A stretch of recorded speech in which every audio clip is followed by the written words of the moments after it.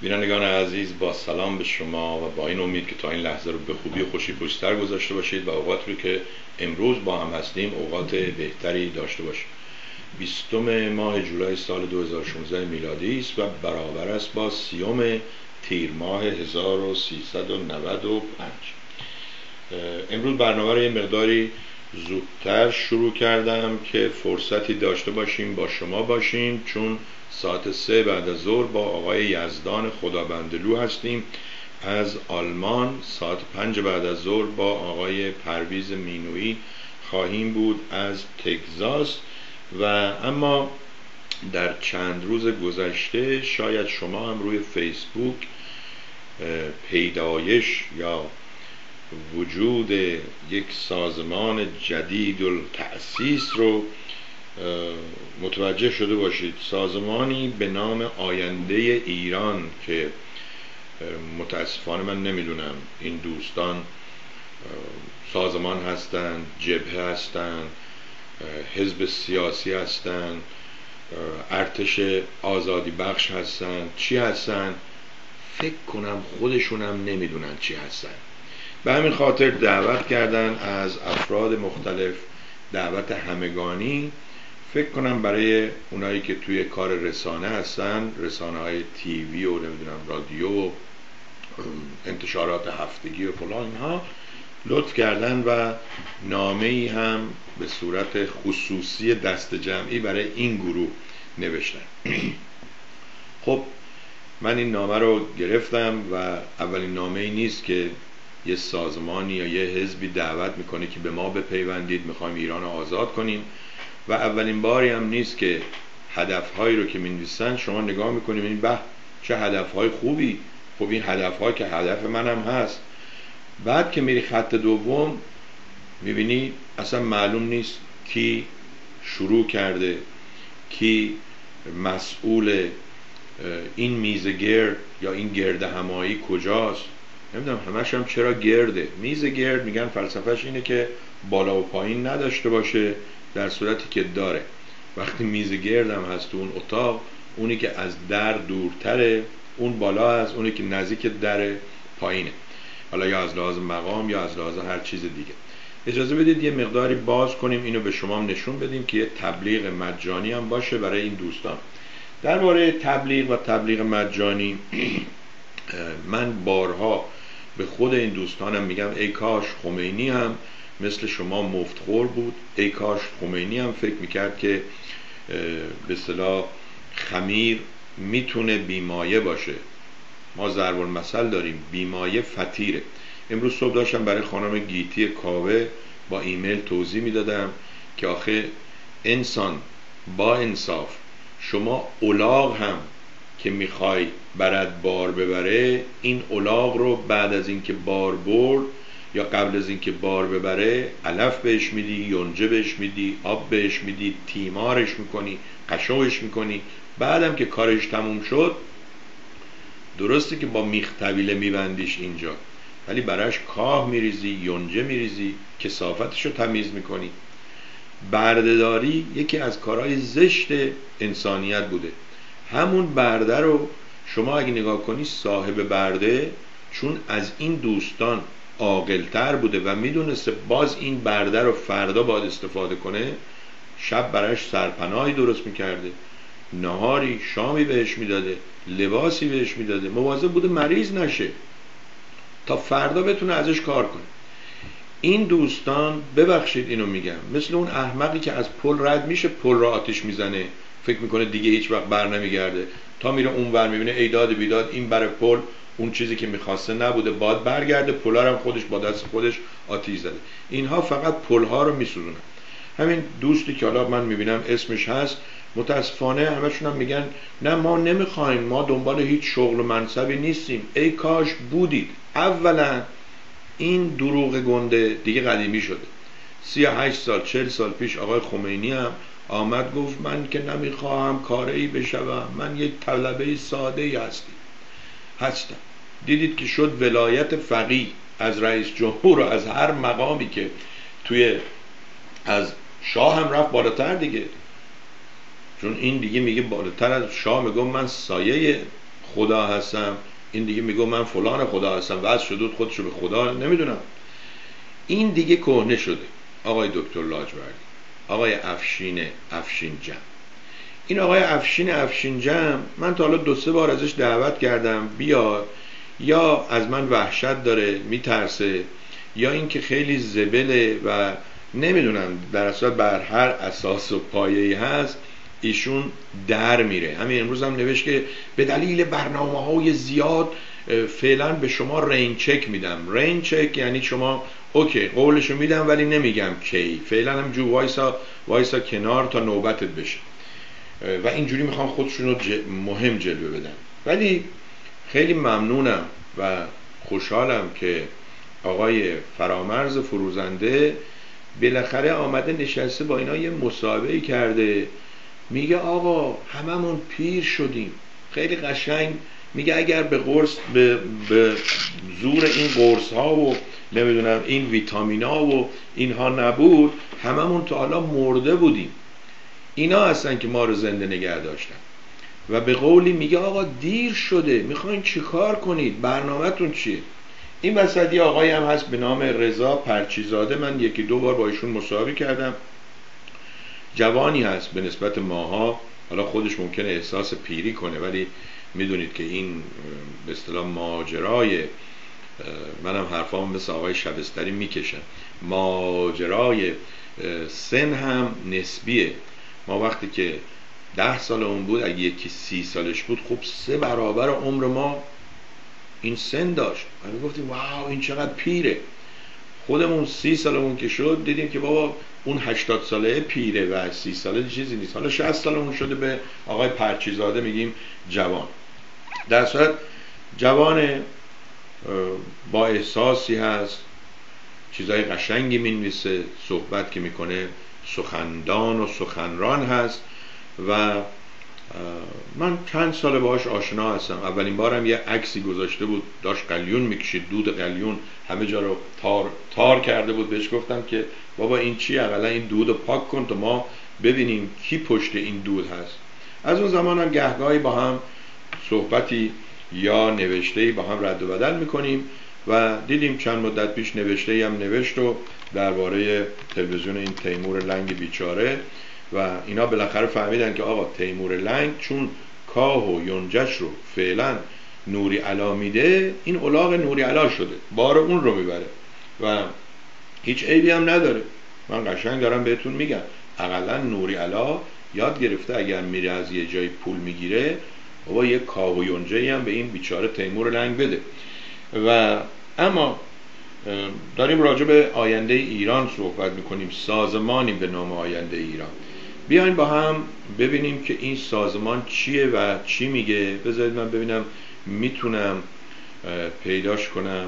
من از برنامه قبل که میگذره می‌بینم وای کلی از چیزها رو نگفتم. بعد هی هرچی هم میاد میگم این جالبه می‌ذارم. هرچی میاد میگم این جالبه می‌ذارم.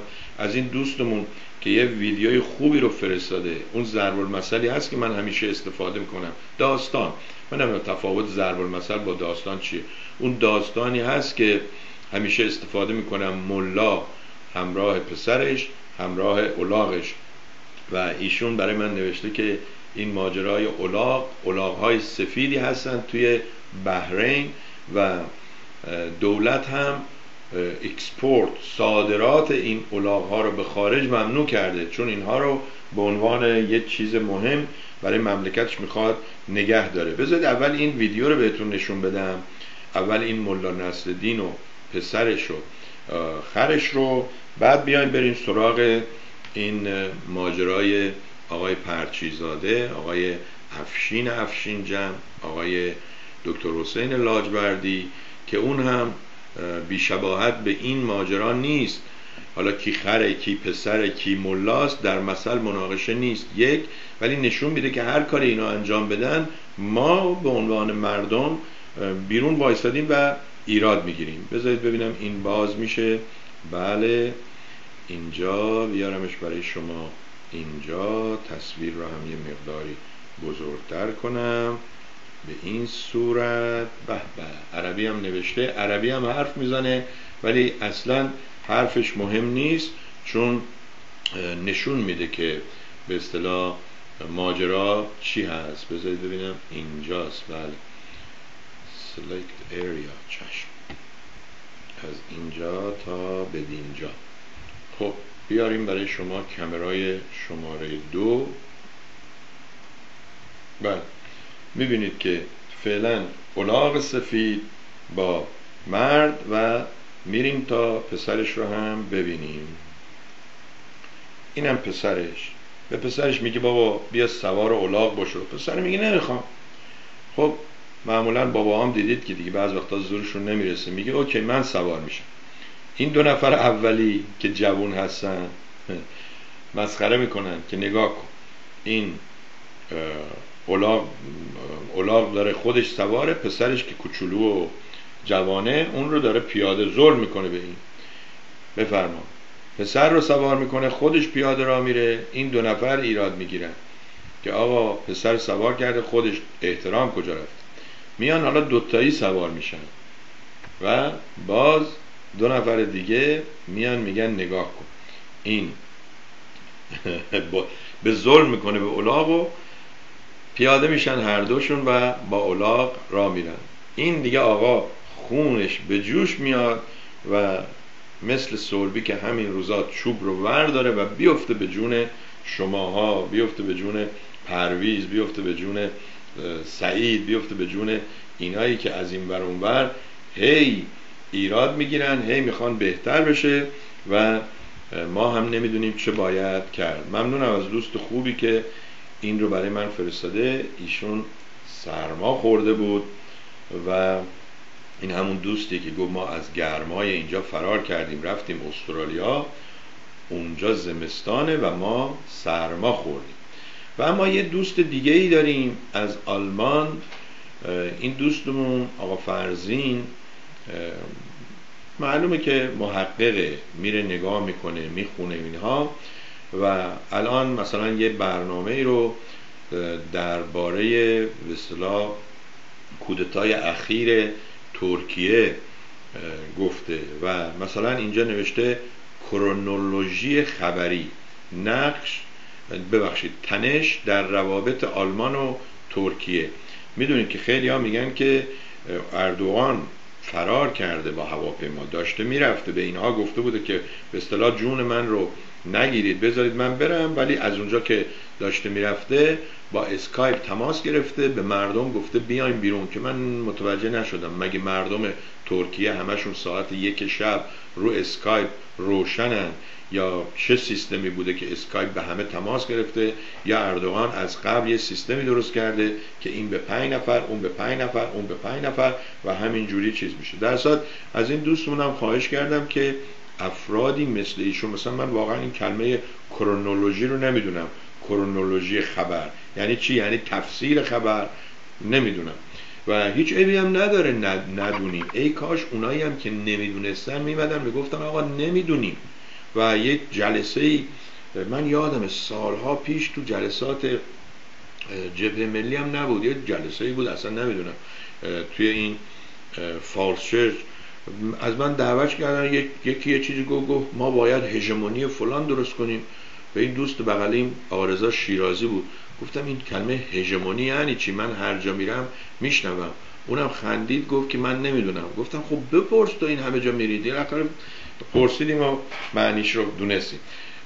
هستن خیلی ها هستن برای من از صبح تا شب می نویسن یعنی برای من تنها نمی نویسن نوشته هاشون رو ارسال می‌کنن. ولی به هر کدومشون میگیم خب بابا شما هم بیاین با مردم صحبت کنید که این برنامه ها تکراری نباشه. ما مجبور نشیم 6 تا هفته برنامه تکراری رو یه هفته نشون بدیم یا در یه روز دو بار سه بار نشون بدیم. نمیان ما که نمی‌تونیم زور بهشون بگیم. ما خودمون اصلا اینجا هستیم که این زور گفتن از بین بره. خلاصه سرتیتر این رو براتون می‌خونم. تقاضای پناهندگی فرمانده پایگاه هوایی اینچورلیک ترکیه از آمریکا. فرمانده پایگاه هوایی اینچورلیک به اتهام دست داشتن در کودتا دستگیر شد. فرمانده پایگاه هوایی بازداشت شد. پرونده هوایی ترکیه بست پایگاه هوایی اینچرلیک ترکیه بسته شد. یورش پلیس ترکیه به پایگاه هوایی احتمال کودتا در پایگاه هوایی آنکارا.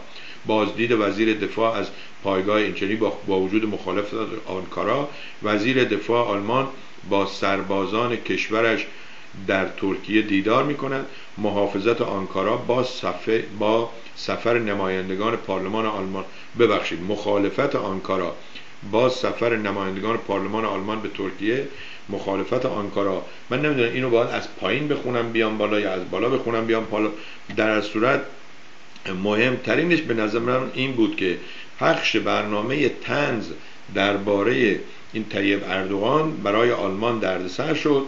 شکایت شخصی اردوغان از کمپین آلمانی از کمدین آلمانی به دلیل شعر تنز سور ترکیه سفیر آلمان در آنکارا را احضار کرد. آیا مرکل در مناقشه تنز با اردوغان مماشات کرده است؟ و آلمان نسل ارامنه را به رسمیت شناخت ترکیه اعتراض کرد. خشم ترکیه از قطع می‌دونی هر کدوم از اینا میشه یک ساعت دو ساعت دربارهش صحبت کرد. برگردیم به این ماجرای آقای پرچیزاده آقای لاجوردی. این جنبش جدید و تأسیس آینده ایران. بیایم اینجا ببینیم که آهان آوا اولا این عکس رو اجازه بدید من نشون بدم به آقای پرچیزاده و ازش خواهش کنم. قبل از اینکه دفعه دیگه پرچم رو پشت سرش قرار بده قانون پرچم رو و احترام به پرچم رو بخونه یاد بگیره. اینجا اصلا بهش میگن اتیکت. یادتونه گفتن طرف برو آقا این طرف آدم بی اتیکتیه این اتیک و اتیکت و اینها از اون اخلاق مرام قانون این چیزا سرچشمه می‌گیره. ببینید دوستان الان من و شما آقای پرچیزاده رو می‌بینیم. یه جوانی که صورتش وسط صفحه بالای سرش یک سری نور خورشید و از سمت چپش یه دومی یه دوم شیر در اومده. این چون ما می‌دونیم که این عکس شیر هست می‌دونیم شیره. اگه نمی‌دونستیم نمی‌دونستیم این دوم چه حیوانیه. و یه پای حیوان هم از سر ایشون آمده بیرون. بعد پرچم چروک. یعنی ایشون این برنامه که تموم میشه پرچم رو تا می‌کنه. حالا یا می‌ذاره زیر دوشکش یا می‌ذاره زیر بالشش یا می‌ذاره تو کشوش نمی‌دونیم. این بی احترامی به پرچمه. پرچم چروک اینجوری با این تا یعنی اینا این پرچم رو سه دلار. ده دلار خریدن یا از یه جایی توی یکی از همین نشست ها مجانی گرفتن این کار می‌کنن. آقای مینوی هم آقای پرچیزاده مثل شما همین کار رو انجام می‌داد. چون ایشون از دفتر کارش برنامه پخش می‌کنه. خب قبل از برنامه این پرچم رو میچسبوند اونجا و من بهش گفتم آقای مینوی افرادی که این برنامه شما رو می‌بینن می‌بینن از یه گوش شما یه شمشیر آمده بیرون از یه گوش شما یه دم شیر. و اون وسط شما موندی این زشته. این بند خدا چون آدم منطقی هست حرف ما رو گوش کرده الان برنامه جدیدشون رو نگاه کنید. در دو ماه یک ماه یا پنج هفته گذشته یک پرچم رو آوردن روی میز گذاشتن. اون پشت روی پارچه مشکی یا یک دیوار مشکی درست کردن و خیلی شیک متین قشنگ. عوض می‌خوام این حرف رو می‌زنم. آقای پرچیزاده شما با زبان تند من آشنا هستی. توی شیراز ما اگه یک کاری می‌کردیم اشتباه بود. حتی پدر مادرمون می‌گفت کسی که می‌خواد یه گویی بخوره باید قاشق گوخوریش رو همراش بیاره. این حرف خیلی معنی داره. یعنی شما اگه می‌خوای یه کاری انجام بدی باید ابزار و وسایلش رو با خودت بیاری. من این پشت سرم می‌تونم عکس پرچم رو بندازم. هیچ خرجی هم برای من نداره. چروکم نیست. بذارید الان براتون مثلا یک پرچم ایران رو بیارم بنزم ولی این کار رو نمی کنم چون پرچم یه احترام خاصی داره. پرچم سمت راست قرار دادنش سمت چپ قرار دادنش جلوی شما باشه پشت سر شما باشه احترام خاصی داره. شماها هول شدید. از ترس اینکه یک کسی به شما نگه معمور جمهوری اسلامی هستید یا طرفدار جمهوری اسلامی هستید یه پرچمی رو میارید می‌ذارید همونجوری که گفتم سه دلار پنج دلار ده دلار خریدید یا مجانی چروک پرچم مشخص نیست. در صورت که شما می‌تونید یه پرچم قشنگ بذارید اینجا یه به اصطلاح گوشه بذارید بهتون نشون بدم که اگر می‌خواید کاری کنید دیگه فکر کنم متوجه هستید نمی‌خوام مثل کلاس اولیا توضیح بدم. این درس اول برای این آقای پرچیزاده و برای آینده ایران.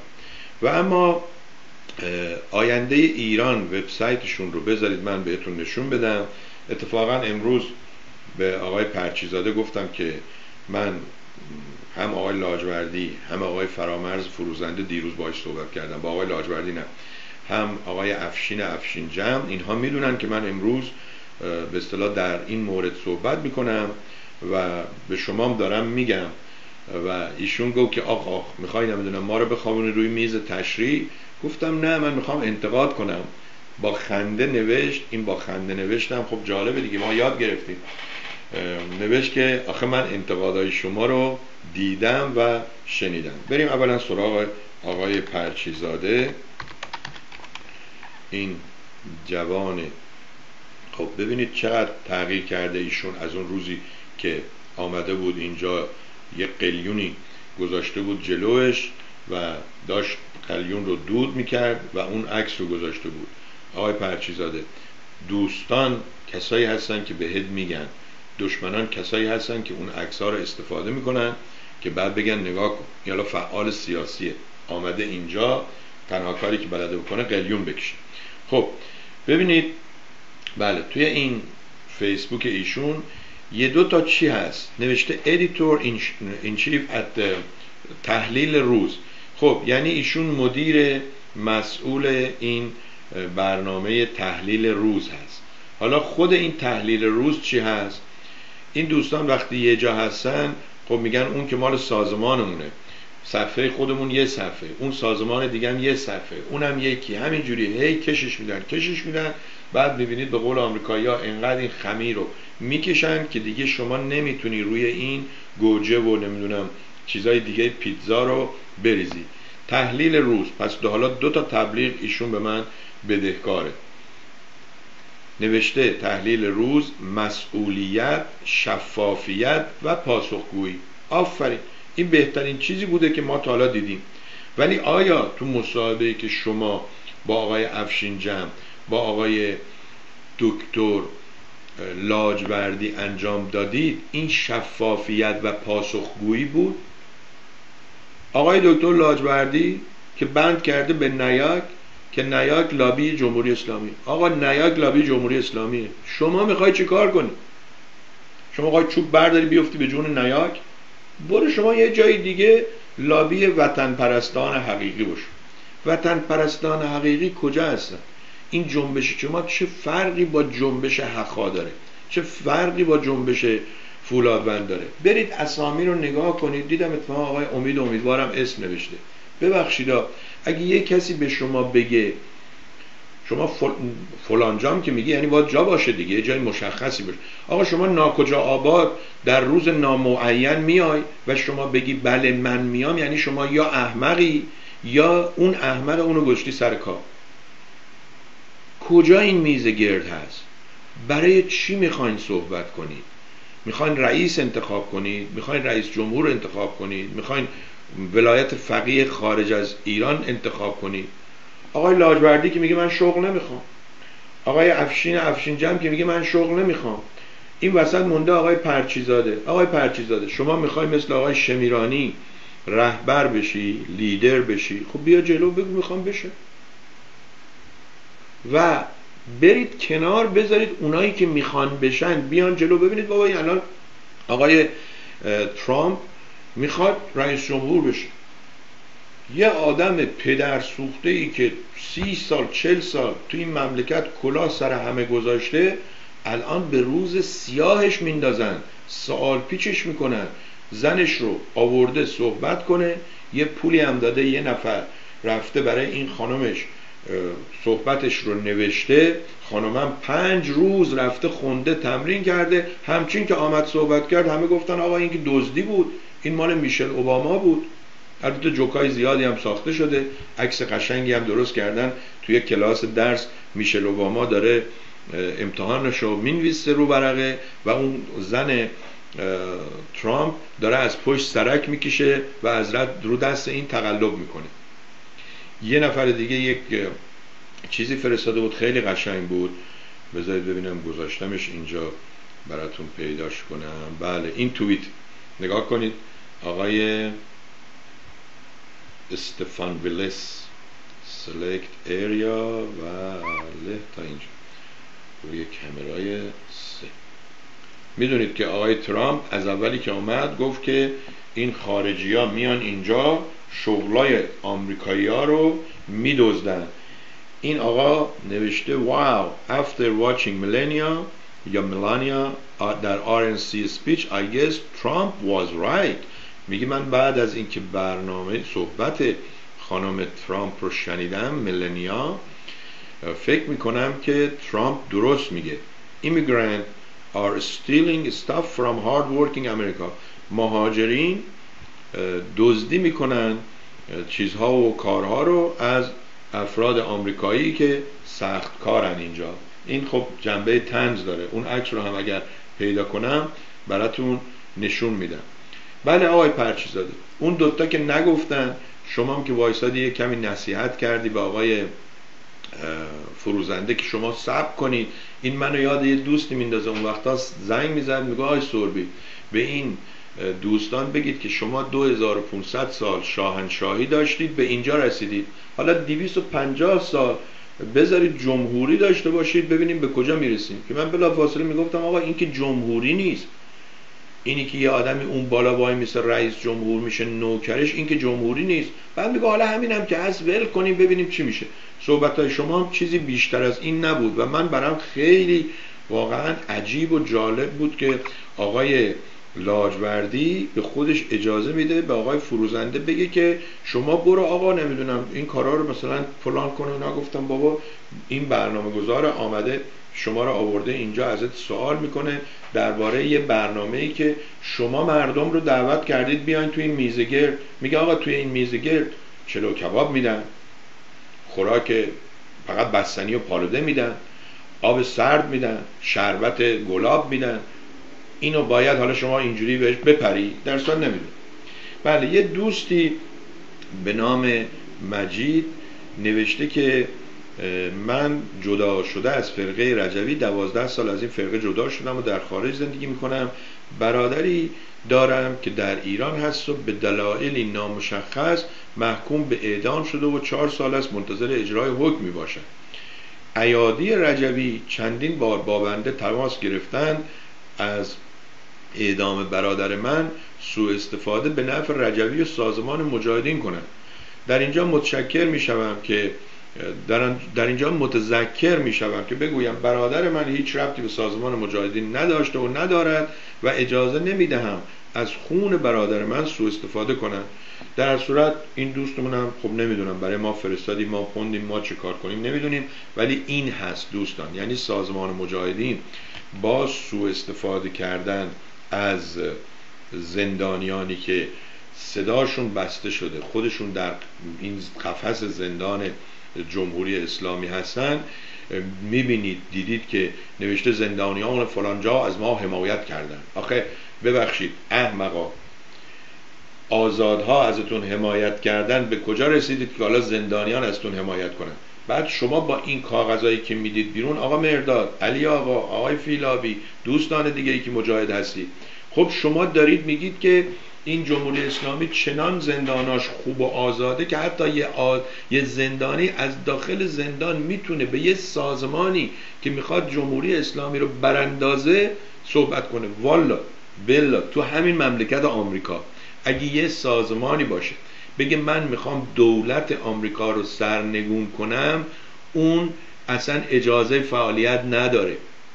میرن میگیرنشون اگه یه زندانی از داخل زندان بگی من می‌خوام با این سازمانه که می‌خواد دولت آمریکا رو براندازه همکاری کنم اون رو حتی از زندان عمومی می‌برن زندان خصوصی صداش رو خفه می‌کنن که صداش به اون سی نفرم نرسه.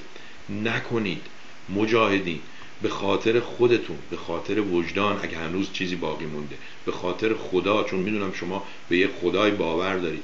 بشینید با چهار نفر دیگه صحبت کنید.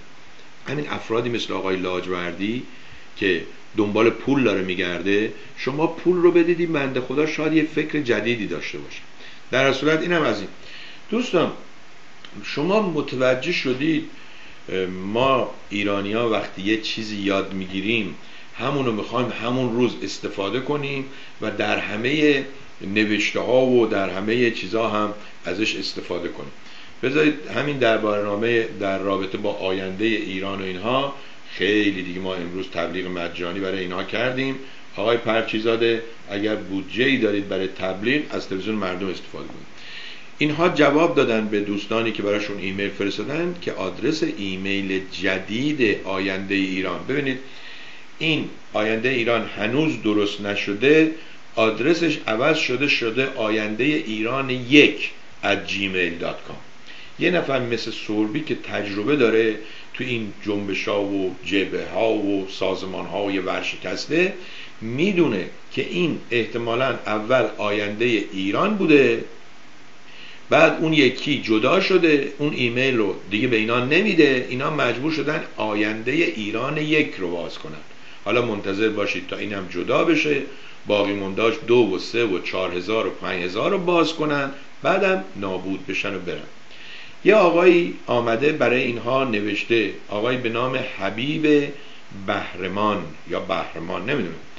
نوشته پاک نژاد گرامی. آقای ناصر پاک نژاد هم معرف حضورتون هستن. سال هاست ایشون هم دنبال یه جایی میگرده که مفت صحبت کنه و نمی‌دونم چی بگم دیگه والا. آقای پاک نژاد یه چیزی نوشته ایشون جوابش داده. ولی دوستان دقت کنید. ببینید نوشته ابتدا سپاسگزارم از اینکه به پست من برخورد کردید. اگر پست رو می‌دونید وقتی میگن پست این از اونجایی میاد که اون وقتا رو تیر چراغ بر روی دیوارای کافه ها و اینها می‌رفتن این آگهی ها رو پست می‌کردن می‌زدن. بعد مثلا اینجا اصلا این چیزها رو پست هم میگن. بعد اینجوری که ایشون میگه مثل که آقای پاک نژاد داشته راه می‌رفته خورده به یک چیزی که این کاغذ ایشون اونجا بوده. نه اینکه ممنونم از اینکه مثلا نوشته مرا دقت کردید یا ممنونم از اینکه پاسخ دادید یا ممنونم از اینکه نظر دادید. ممنون از اینکه به پست من برخورد کردید. خب این ابتدا بود. حالا دوباره ابتدا. ابتدا انتظار می‌رفت آقای لاجوردی جواب دهند ولی مهم نیست. این قسمت رو درست میگه آقای پاک اگر شما مسئول نیستید اونجا سخنگون نیستید اونجا شما نباید جواب دیگران رو بدید. ولی چیزی که من الان گیر دادم به این آقای حبیب این پنج تا چهار تا ابتدا استفاده کردن توی یک نوشته غلط عزیز من. ببینید یه ابتدا اینجا. ابتدا سپاسگزارم از اینکه به من برخورد کردید. ابتدا انتظار میرم آقای لاجوردی جواب دهد. مهم نیست. ابتدا همه ما همه, همه ما همین الان هم مشغول فعالیت هستیم. ببینید همه ما همین الان هم عزیز من این جمله ها رو و هر کسی چند تا هر و هم و ما و همین و فعالیت می کند مهم این است که این تلاش ها همراه گردد. هر روز یکی به این فکر میافتد که فراخانی دهد و دیگران را به یک تلاش مشترک دعوت کند. برای اینکه این دعوت به جایی برسد چندین چندین پیشفرض مطرح است که من در پست دیگری به آنها اشاره خواهم کرد. با گوشی موبایل بیش از این نمیشه پست گذاشت. ببینید دوستان چقدر ما بدبختیم. ببینید ما چقدر عقب افتاده هستیم. اولا وقتی تو آمریکایی یا تو فارسی حتی میگیم اولا بعد میگیم دوما که میگن غلطه. باید بگید ثانیان. اگه میگید اولا. تو آمریکایی هم میگید first of all بعد میگید second of all یا همینجوری. یعنی اگه گفتی اول دیگه شیشتا اول که نداره. اینجوری که شما نوشتی ابتدا ابتدا ابتدا ابتدا ابتدا.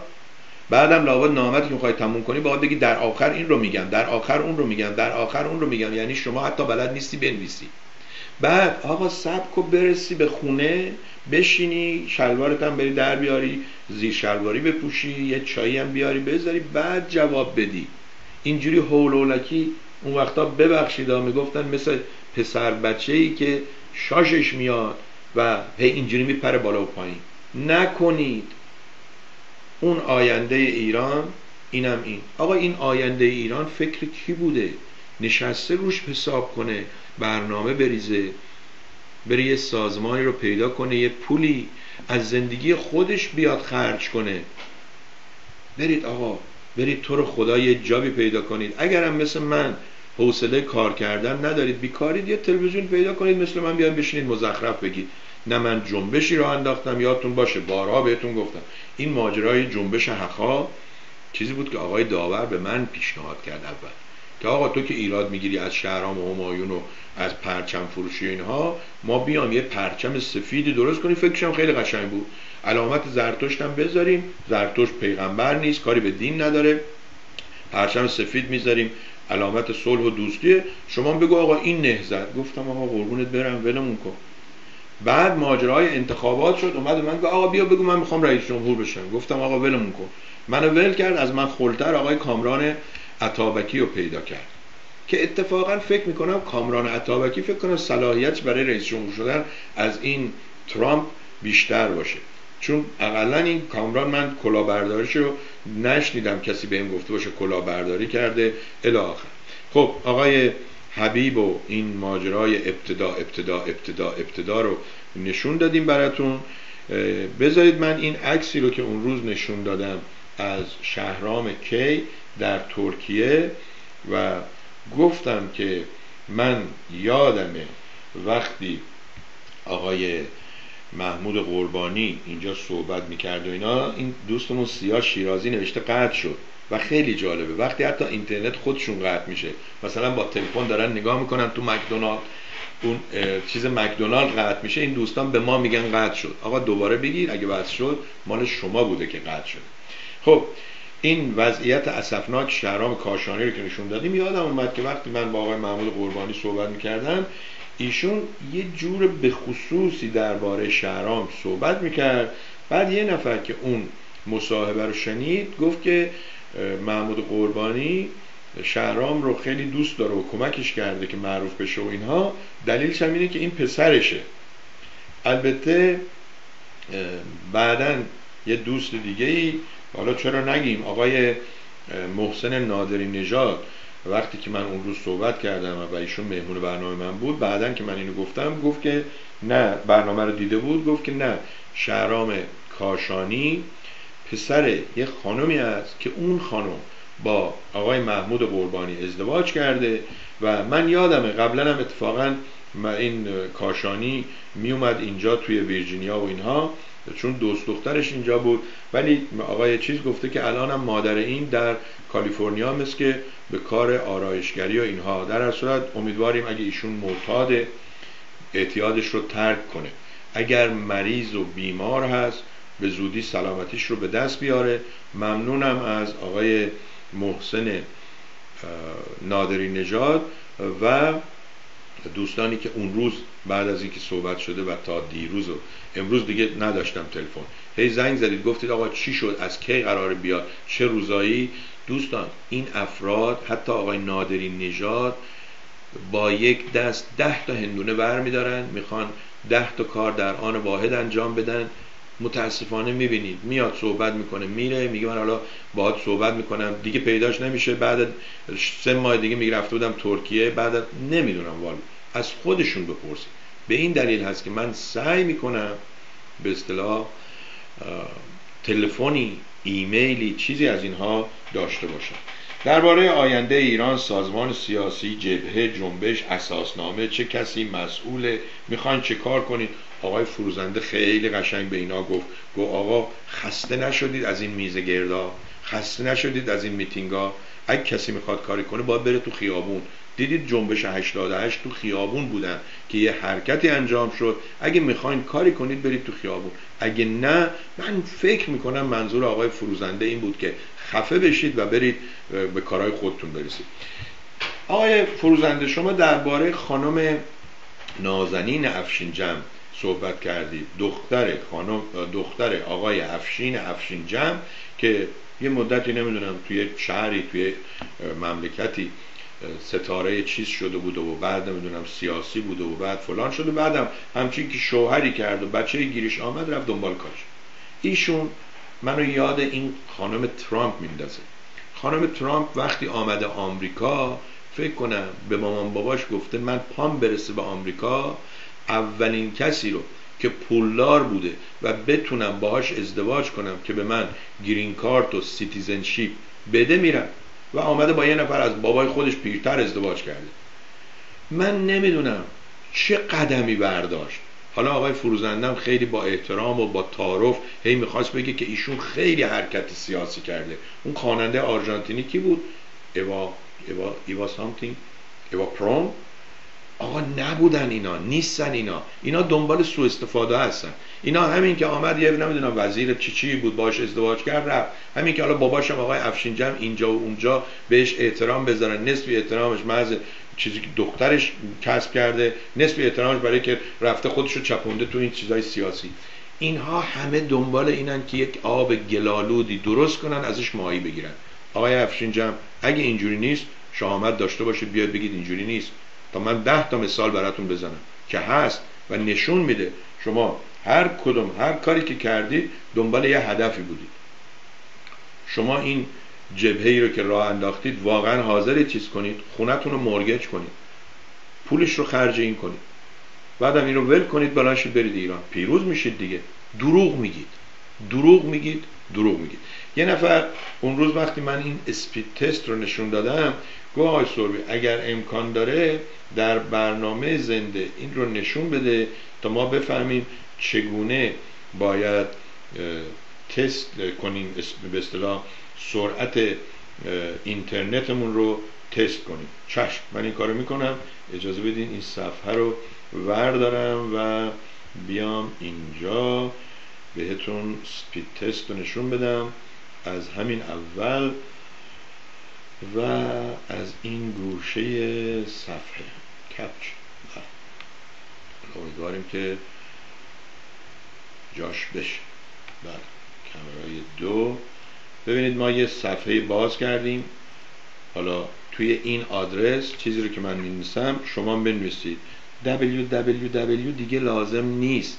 ولی خب اگه عادت کردید بنویسید. www.speed s p e e d test. T e s t dot net. بعد این رو انتر یا میبردتون به اون صفحه. یه صفحه باز میشه. یه چیزی مثل یک لپتاپ. این می‌بینید فکر کنید این کامپیوتر شماست یا این لپتاپ شماست. و بذارید من این رو براتون بزرگتر نشون بدم. اینجوری چهار به سه کنم. که قشنگ بیفته اینجا. و حواستون باشه دوستان این بالاشو این ور و اون ور و اونا اونا تبلیغه. رو اونا اشتباهی کلیک نکنید. فقط تو این صفحه نوشته بگین تست یعنی آزمایش رو شروع کنید. اینو کلیک می‌کنید. یا این رو فشار می‌دید. یا این رو می‌زنید پدر صاحبش رو در میارید این رو که فشار دادید این شروع میشه. اولینش اون P N G ping می‌بینید؟ ping اون سیگنالیه که کامپیوتر ما از اینجا میفرسته سیگنالیه که کامپیوتر اونا از اینجا میفرسته.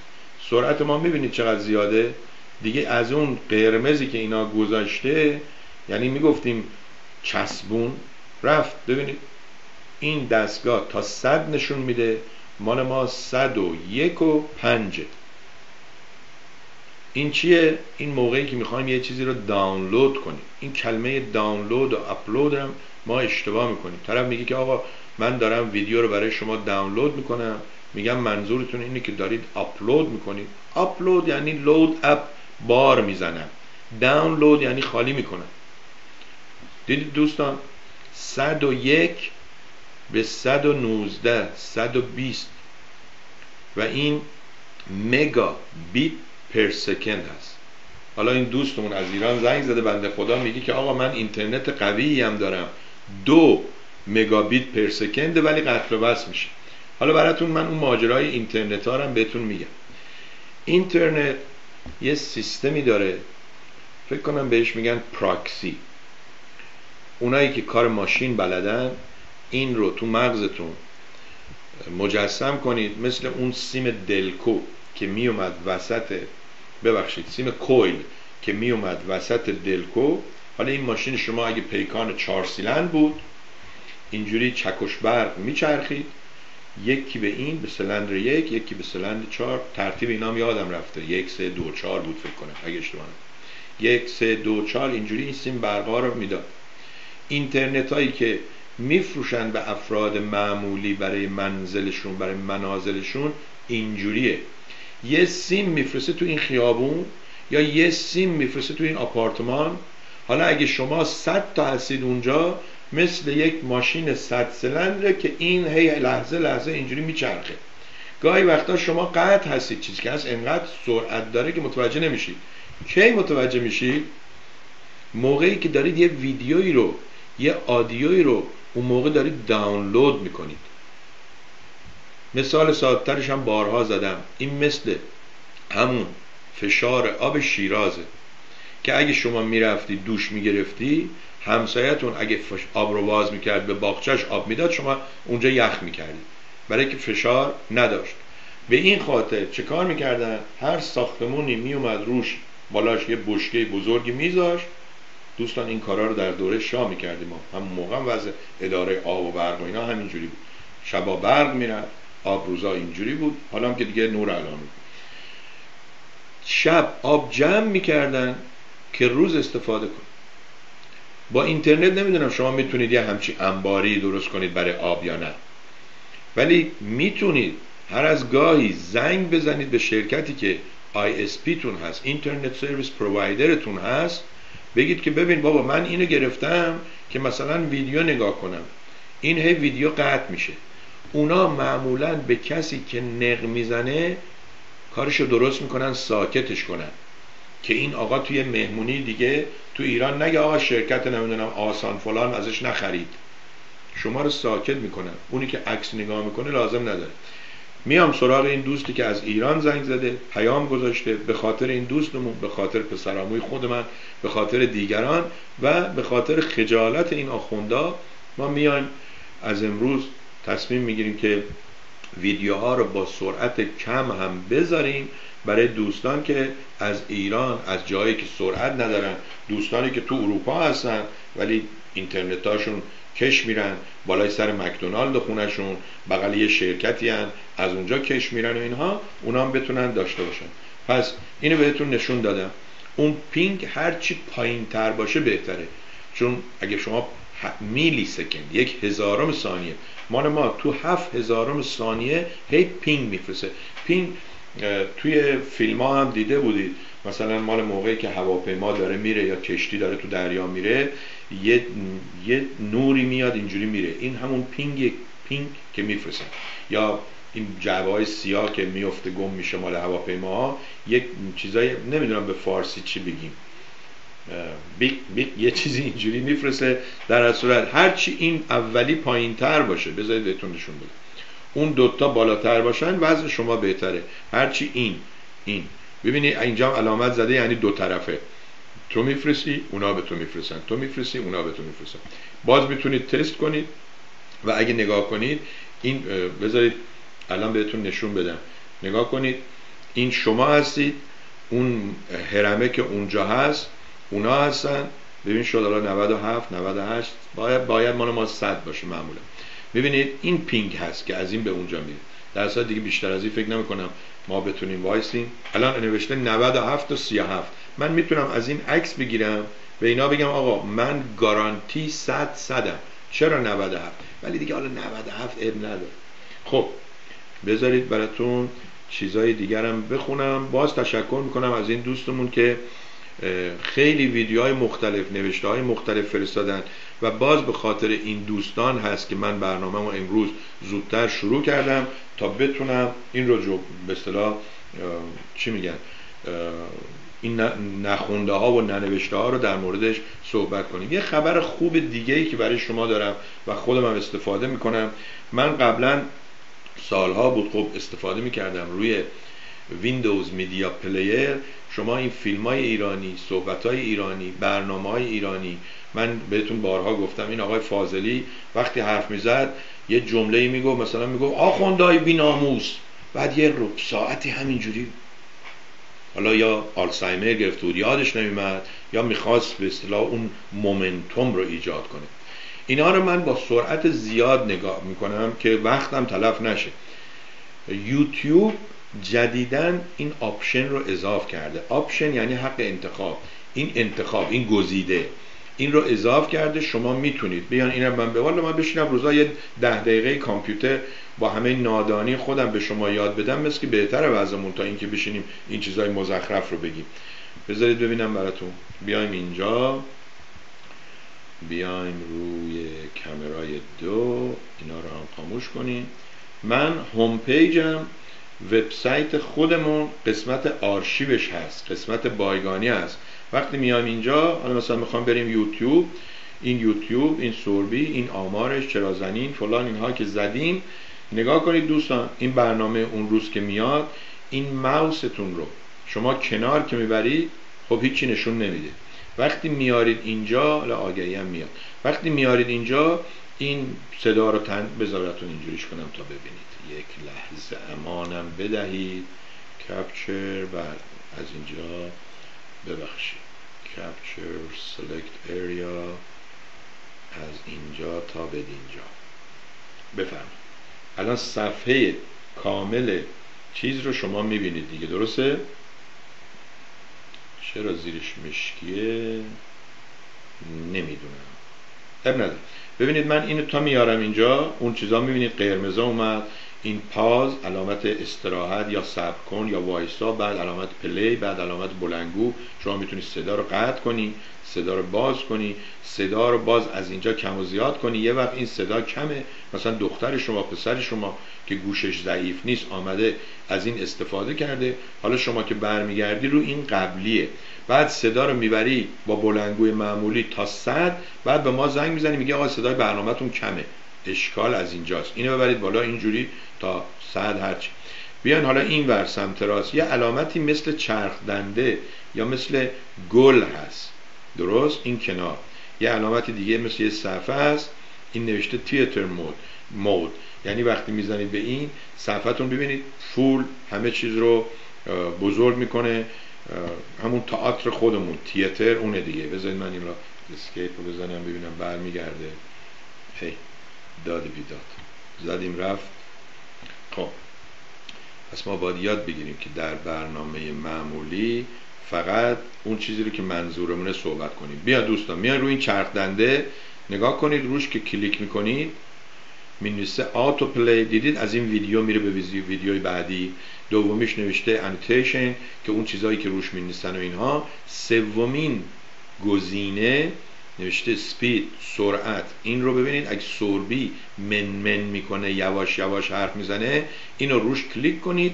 از نرمال بیاریدش رو یک و بیست و پنج بیاریدش رو یک و نیم بیاریدش رو دو. اوکی؟ اگرم دیدید یه نفر یه چیزی تند گفت که شما متوجه نمیشید اینو ببرید روی نرمال حتی ببرید روی نیم. سرعت رو تقسیم بر دو می‌کنه. قشنگ متوجه میشید یه چیزی رو اگه گفته باشه. بیاریدش روی 25 صدم که دیگه امیدوارم 25 صدم و 50 صدم و نیم و اینا هم بلد باشید. اگه بلد نیستید صبر می‌کنیم آقای فرید سایپور بیاد بهتون توی برنامه ریاضی یاد بده. ما اشکالمون اینه. اونایی که بلدن انقدر از خودشون بخشندگی نشون نمیدن به دیگران یاد بدن. تنها کاری که می‌کنن دیگران رو تحقیر می‌کنن. فکر می‌کنن چون این بلد دو دو تا چهار تا اون یکی اگر میگه دو دو تا پنج تا اون احمق الاغ بیشعوره. نمیگه که آقا کسی به این یاد نداده که چرا دو دو تا میشه چهار تا. بیا یاد بده. در صورت منتظریم شماها بیاین. ف... چی میگن؟ اون چیزایی که خودتون یاد گرفتید یاد بدید. الان که داشتم این ویدیو رو نگاه می‌کردم دیدم این برنامه CNN رو که اون روز گذاشته بودیم دوستان بعضی هاشون نوشتن خوبه بعضی هاشون نوشتن حواسمون رو از صحبت های شما پرت می‌کنه. یه نفر حرف درستی زد. گو اولا حواس شما رو پرت می‌کنه از برنامه خوده. حالا کم مشکل و مکافات داشتی تلفن و فیسبوک و message و فلان بیسار که آمدی یه چیز دیگر هم گذاشتی. حواست به این باشه live که اگه یه اتفاقی افتاد به ما بگی. اگه ما خیلی بخوایم به روز باشیم تلویزیون طوری که باز کردیم CNN هم می‌ذاریم بغلش. دیدم درست میگه. وقتی درست میگه shut up and dance. این اسم یه آهنگیه. ساکت شو و برو به اصطلاح به کارت برس. اینم از این. خب بذارید ببینم که دوستان روی فیسبوک چی میگن؟ سلام مطمئن ترین روش ارسال نوشتاری از کدام روش استفاده کنم؟ کار مهمی دارم.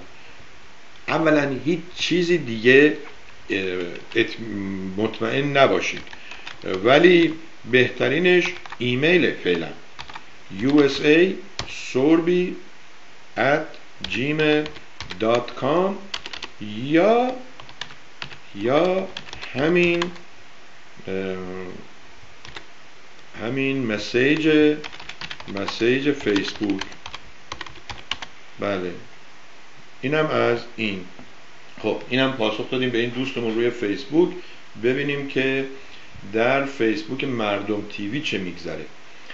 و بله اینجام هست و نشون داره میده نشون داده تا حالا 334 تا آمدن این رو دیدن. سیاه شیرازی که نوشته قطع شد من براش یه لایک می‌زنم ببینم دوباره بحث شد یا نه. به احتمال زیاد اینترنت خودت بوده. از کجا کش میری؟ سعی کن از یه همسایه دیگه کش بیری خب آقای فروزنده دکتر لاجوردی افشین افشین جمع آقای پرچیزاده میزیگرد ما مقام نمی‌خواهیم. پرچیزاده با آقای فروزنده میگی شما برو مقاله های منو بخون. با آقا این چه حرفیه؟ من اینجا دارم از شما یه سوال می‌کنم. به جایی که به من بگی برو مقاله های منو بخون جواب بده. آقای پرچیزاده برو روی ویدیو برو روی گوگل یوتیوب بزن سوربی حخا همین سوال من از حخا کردم. میگم آقا تو که میگی من دکترم دکترات از کجا گرفتی؟ شما که توی چیت نوشتی که مسئول و جزو هیئت امنا و مدیر 28 شرکت بزرگ دنیا هستید به ما نشون بده این کجاست چجوری شغل چیه این چه شرکتیه که شما 28 جا کار می‌کنی؟ یعنی یک 28 وقتت رو اونجا می‌ذاری. 27 28 رو جای دیگه تلف می‌کنی. این چه شرکتی که شما رو باز نگه داشته؟ میگه من با آقای شمیرانی 28 ساعت یا 280 ساعت برنامه داشتم. شما برو اونا رو نگاه کن. گفتم آقا این مزخرفات چیه؟ شما از من می‌پرسی کجا تو مدرسه میگی درس می‌دادم شیراز؟ من بهت میگم آقا دبیرستان محمد رضا شاه. اسمش هم عوض شد شد دبیرستان طالقانی. شما میری می‌پرسی. آقای قاسم زاده است آقای بسفکن آقای ابراهیمی آقای لطیفی بهت میگن بله اینجا بوده. این مزخرفات چیه؟ آقای پرچیزاده برو مقالات من را در نشریات مهم بخون. بگو آقا اون سوالی که کرده قشنگ جواب بده. و تعیین تکلیف هم برای فروزنده که آقا شما برو اون کارا رو بکن. آقای لاجوردی شما برای خودت تعیین تکلیف کن. من وکیل آقای فروزنده نیستم. چون نشون میده شما با این همه کتاب نوشتن با این همه میتینگ گذاشتن با این همه جا رفتن شما هنوز نه برنامه ای داری بله هدف دارید. هدفتون هم عالیه. بیا من یه نوشته بنویسم به عنوان یک سند رسمی یه مدرک فارغ و تحصیل از دانشگاه تلویزیون مردم بهت بدم. چون اینجا بهتون گفتم دوستان اینجا شما سی دلار میدی میری دو ساعت یه جای شراب می‌خوری وقتی دیگه حالا کلت گرم شده اون آخر کار. می‌خوام بگم بیا برو کلاس بعدی اومده به شوخی شوخی هم جدی یه certificate یه گواهی نامه یه license بهت میدن یه لیسانس بهت میدن نوشته که دیگه این حالا سوربی می‌تونه درباره شراب این ور اظهار فضل کنه. اظهار فضل درسته. ولی ما بیشتر اظهار فضله می‌کنیم. چی بگم آخه بهت؟ خب ساعت دو سه دقیقه است. ما پنجاه و هفت دقیقه دیگه باید با شما باشیم و بعد بریم سراغ دوستان. ببینیم که دوستان چیزی اینجا نوشتن در قسمت جدید. AmericanArabicOffers.com این اون مهم نیست. خب حالا میایم توی قسمت بله پیام از ایران رو براتون بذارم. ضمنا این دوستمون یه بار دیگه زنگ زده چون شمارت همونه. و سه دقیقه هم گوشی رو نگه داشتی. ببینید اولیش سه و چهل و پنج دقیقه بعد از ظهر دیروز بوده. دومیش 6 و 22 دقیقه پی ام. حالا نمی‌دونم وقت اونجا یا وقت ما. و اولی رو من پخش می‌کنم دوستان. بذار صدای شما رو برای دوستانی هم که روی فیسبوک هستن احیانا بذارم و این فیسبوک هم حقیقتا به ما ضرر می‌زنه. تعداد بیننده های یوتیوب رو کم می‌کنه. البته ما پولی به اون صورت در نمیاریم از یوتیوب که بخوایم حالا نگران اون تعداد باشه خب روی اینجا گفتیم و خوندیم و حالا بریم پیام این دوستمون رو بذاریم و ببینیم چی میگه. من پیام شما رو قطع و بس می‌کنم به صورت یه گفتگو. بعدم بعد از برنامه آدیوی برنامه رو می‌ذارم. شما من بگو از کجا ما رو می‌بینی؟ از یوتیوب از فیسبوک از وبسایت مردم تیوی صفحه بایگانیش. از دیروز من حساب ساوند کلاود قبلا داشتم ولی از دیروز آمدم گذاشتم مردم تیوی که بتونی پیداش کنی. بعد حالا بهت مشکلات رو نشون میدم که شما به یک کلمه میگی آقا اگه اونجا بذاری خوبه. منم می‌دونم خوبه. اگه یک کسی پیدا می‌شد مثل سعید که کارش کامپیوتر وقتی من برنامهم تموم می‌شد این لطفو می‌کرد اون صدا رو می‌گرفت میذاش رو ساوند کلاود کلاود برای اون پنج دقیقه ماکسیموم وقت می‌گرفت. ولی برای من پنج دقیقه اینجا پنج دقیقه اونجا ده دقیقه اینجا ده دقیقه اونجا بعد باید دیگه گدایی کنم. تا زندگی کنم. متاسفانه می‌بینید که ما ایرانی ها حتی به گداها هم چیز خوبی نداریم این احمق برای من اینو فرستاده نوشته بیا. سر بیا گدا. اینم پول. این پول رو برو بده به ننت. این اگه پول بود این اگر این سکه سکه شاه بود خوب بود. تو خودت می‌دونی که این پوله از پهن بی ارزشتره در هر صورت. اینم از این ماجرا. صحبت می‌کنیم با دوستمون از ایران و پاسخ بهش میدیم. چیزایی رو که بلدیم چیزایی رو که بلد نیستیم. خیلی ساده میگیم بلد نیستیم. میریم می‌پرسیم میایم به شما میگیم. بفرمایید. شروع جان سلام. حسین هستم از ایران شما. حقیقتا برنامه تو گوش می‌کنیم ولی اینترنت ایران شمال یا ایران شما؟ ضمنا ما دفعه قبل از شما تعریف کردیم. گفتیم این دوستمون زنگ که زد خودش معرفی کرد. قبل از زنگ زدن صدای تلویزیون رو کم کرد. شدی عروس, عروس تعریفی؟ الان شیرازی میگن عروس, عروس تعریفو. بعدش هم میگن چی چی در اومد. چرا نمیگیم اینا رو؟ چرا توی مهمونی میگیم؟ ولی همچین که میان تو تلویزیون عوض میشیم. آقا تو شیراز میگن که امیدوارم که عروس تعریفو نشی. چون عروس تعریفو گوزو از آب در اومد. حالا یعنی عروسی که مادرش مادر شوهرش تعریف می‌کرد مثلا می‌خواد یه چای بیاره جلو مهمون دلا که میشه میگوزه قشنگ میشه برنامه اینجوری خودمونی میشیم. دوستانی که دوست دارید برنامه خودمونی باشه. خب بی مروت ها بی انصاف ها. حمایت کنید. اون احمقایی که می‌خوان تیتیش مامانی صحبت کنن که پولشون رو میرن میدن به اونایی که گولشون می‌زنن.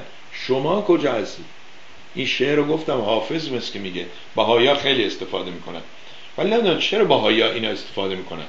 چون میگه که ما هرچی ضربه می‌خوریم از خودی ها هست.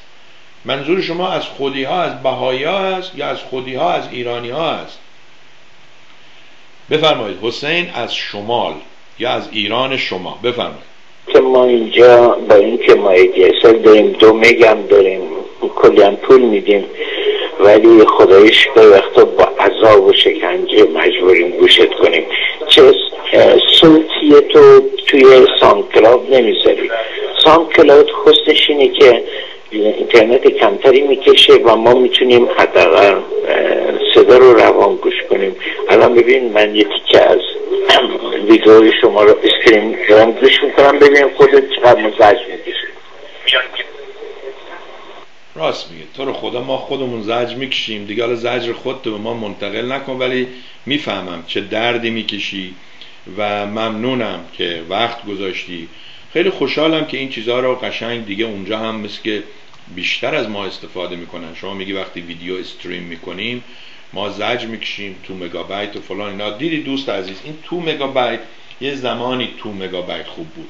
الانی که به اصطلاح همه چیز با سرعت شده مثل اینکه مثلا وقتی که درشکه بود بعد ماشین که اومد گفتن آقا این ماشینه 15 مایل در ساعت میره. خیلی کولاک بود. الان ماشین ها 300 کیلومتر 200 مایل در ساعت میره. البته خاک تو سر آمریکا به خاطر پول در آوردن از جریمه ها اینجا سرعت مثل قرن 19 هم. در هر صورت دردت رو می‌فهمم ولی شما میگی برو ساوند کلاود چشم. من بودم عزیز من. آمریکایی یه چیزی دارن میگن بیندر داندت شما وقتی یه چیزی میگی اون میگه آقا من بودم و می‌دونم. من آقا شما برو پایین آرشیو ما می‌بینی یه جایی نوشته ویدیو این آدیو این. این کارا رو کردیم وقت می‌گیره. وقت تلاست وقت عمر منه وقت باید پول برش بدم. شما که تو ایرانی عذرت موجهه و ما هم از شما انتظار نداریم. ندارین. یه دونه با همت نداریم این دکتر حسین لاجوردی همت نداره مای 100 دلار بده به یه تلویزیونی بگه آقا به جایی که من برم بشینم کتاب بنویسم به جایی که نمی‌دونم هی از اینجا به اونجا پرواز کنم میام اونجا حرف می‌زنم و این 100 دلار رو سربی خرج کن که این دوست ما تو ایران صدای منو بشنوه. نیست همت نیست غیرت. اونی که میگه بی غیرت ها درست میگه. نداریم. حالا اسمش رو می‌ذاریم همیت نداریم نمی‌دونم همت نداریم. می‌خوایم این بیغیرتی رو بپیچیم توی آلمونیامی که خوشکل نمونه کنه نشون بده. نه آقا بیغیرتی نداریم. اونی که بلند میشه مثل این آقای محسن سازگارا میگه من هشت دلار تو جیبم بود موقع انقلاب ول کرده اینجا رو رفته ایران. من هیچ دل خوشی ازش ندارم و مثل سگم از من میترسه حساب می‌بره. نمی‌دونم چرا. ولی آقا اینا غیرت داشتن. اینا برای اون چیزی که باور داشتن پاش وایسادن. من می‌خوام با آقای پرچیزاده بگم آقا شما حاضری این دنبال این برنامه بیای بریم ایران؟ من حاضرم با شما بیام ایران. البته ما به قول دیگه عمرمون کردیم. هر خطری باشه حاضریم. ولی شما از خود آقای افشین جمع سوال که آقا ما اگه فردا پیروز شدیم این میز گرد و گذاشتیم امید و امیدوار آمد اون آمد و اون آمد. امید و امیدوار با آقای شارخ خواننده می‌خواستن صد نفر رو پیدا کنن. شارخ خواننده می‌گفت اگه صد نفر پیدا بشه نمی‌دونم نفری صد دلار به اینا بده ده هزار دلار. صد صد تا تا اونجایی که ریاضی من اضافه میده. چیکار می‌کردیم؟ صد و صد. یکیشو برمیداشتیم دو تا صفر. از این دو تا صفر از این میذاشتیم جلوش. می‌شد ده هزار چهار تا خواننده ایرانی تو آمریکا میگه اگه یه کسی به من ده هزار دلار بده من میرم ایران و حکومتشو برر چی می‌کنم؟ آخه ببینید این نباید یه نفر زنگ بزنه بگه آخه احمق تو احمقی شارق خواننده یا فکر کردی ما احمقیم. امید امیدوار نشسته بود میکروفون داده بود دست این که پول بسازن. بعدم با هم دعواشون شد نمی‌دونم سر پول و اینه خب حالا اسامی رو من اگه پیدا کنم براتون می‌خونم که کیای دیگه هستن که به این میزه گردی که نمی‌دونن کجاست. نمی‌دونن چه روزیه. نمی‌دونن درباره چی می‌خوان صحبت کنن. گفتن ما هستیم. اینا اسامی احمقاست. برید ببینید. اتفاقا خوبه که اینا خودشون میان جلو نشون میدن. حالا امید امیدوارم می‌خواد ناراحت بشه. نشه. کار احمقانه بکنی بهت میگم احمق. این کاری که شما کردی به جایی که بیای ازش بپرسی چون آقای لاجوردی با یه آقای دیگه برنامه می‌ذاره تو تلویزیون ایتو حالا لاجوردی میگه من پول نمیدم احتمالا اون آقای پول میده. شما هر جا اینا بگن میگی من میرم. نکنید این کارو. مثل آقای فروزنده وایسید میزگرد آقا برای چی؟ میزگرد برای چی؟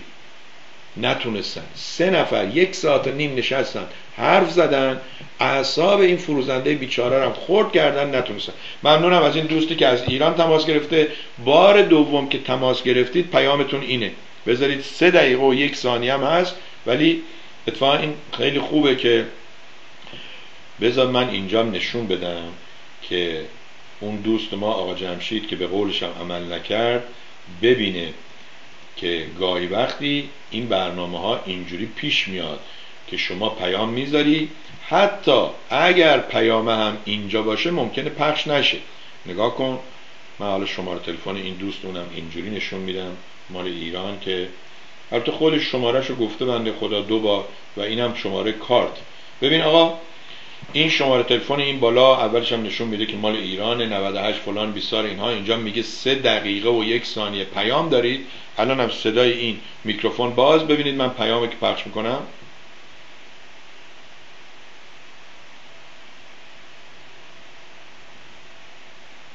پنج ثانیه گذشت هیچ صدایی نمیده. بیاریمش اینجا. 46 ثانیه. بردیمش اونورتر یک دقیقه و سی. هیچ. هیچ. یعنی به همون درجه که این وسایل دیجیتال و تکنولوژی پیشرفت کرده به همون درجه که ما امکانات تماس با دیگران داریم به همون درجه هم باید شما فکر کنی که ممکنه نرفته باشه ممکنه وصل نشده باشه. حالا برای یه مثال ساده می‌زنم. شما اون موقع یه نامه که مینوشتی حالا نمیگیم 100 درصد. 90 درصد مطمئن بودی که به دستش می‌رسه ولی الان ایمیل هست فیسبوک هست این هست اون هست اون هست اسکایپ هست. شما همه اینا رو هم که بفرستی ممکنه این دوست روی برنامه دیگه باشه به دستش نرسه در اصل دوست عزیز این سه دقیقه ای که شما پیام گذاشتید پیام شما پر از خالی و خالی از پر بود. هیچ چیزی داخلش نداشت. پیام از ایران چشم حتما به خاطر شما و دیگران مخصوصا پسر اموی گلم. این کار رو می‌کنم سعی می‌کنم فایل صوتی رو هم بذارم.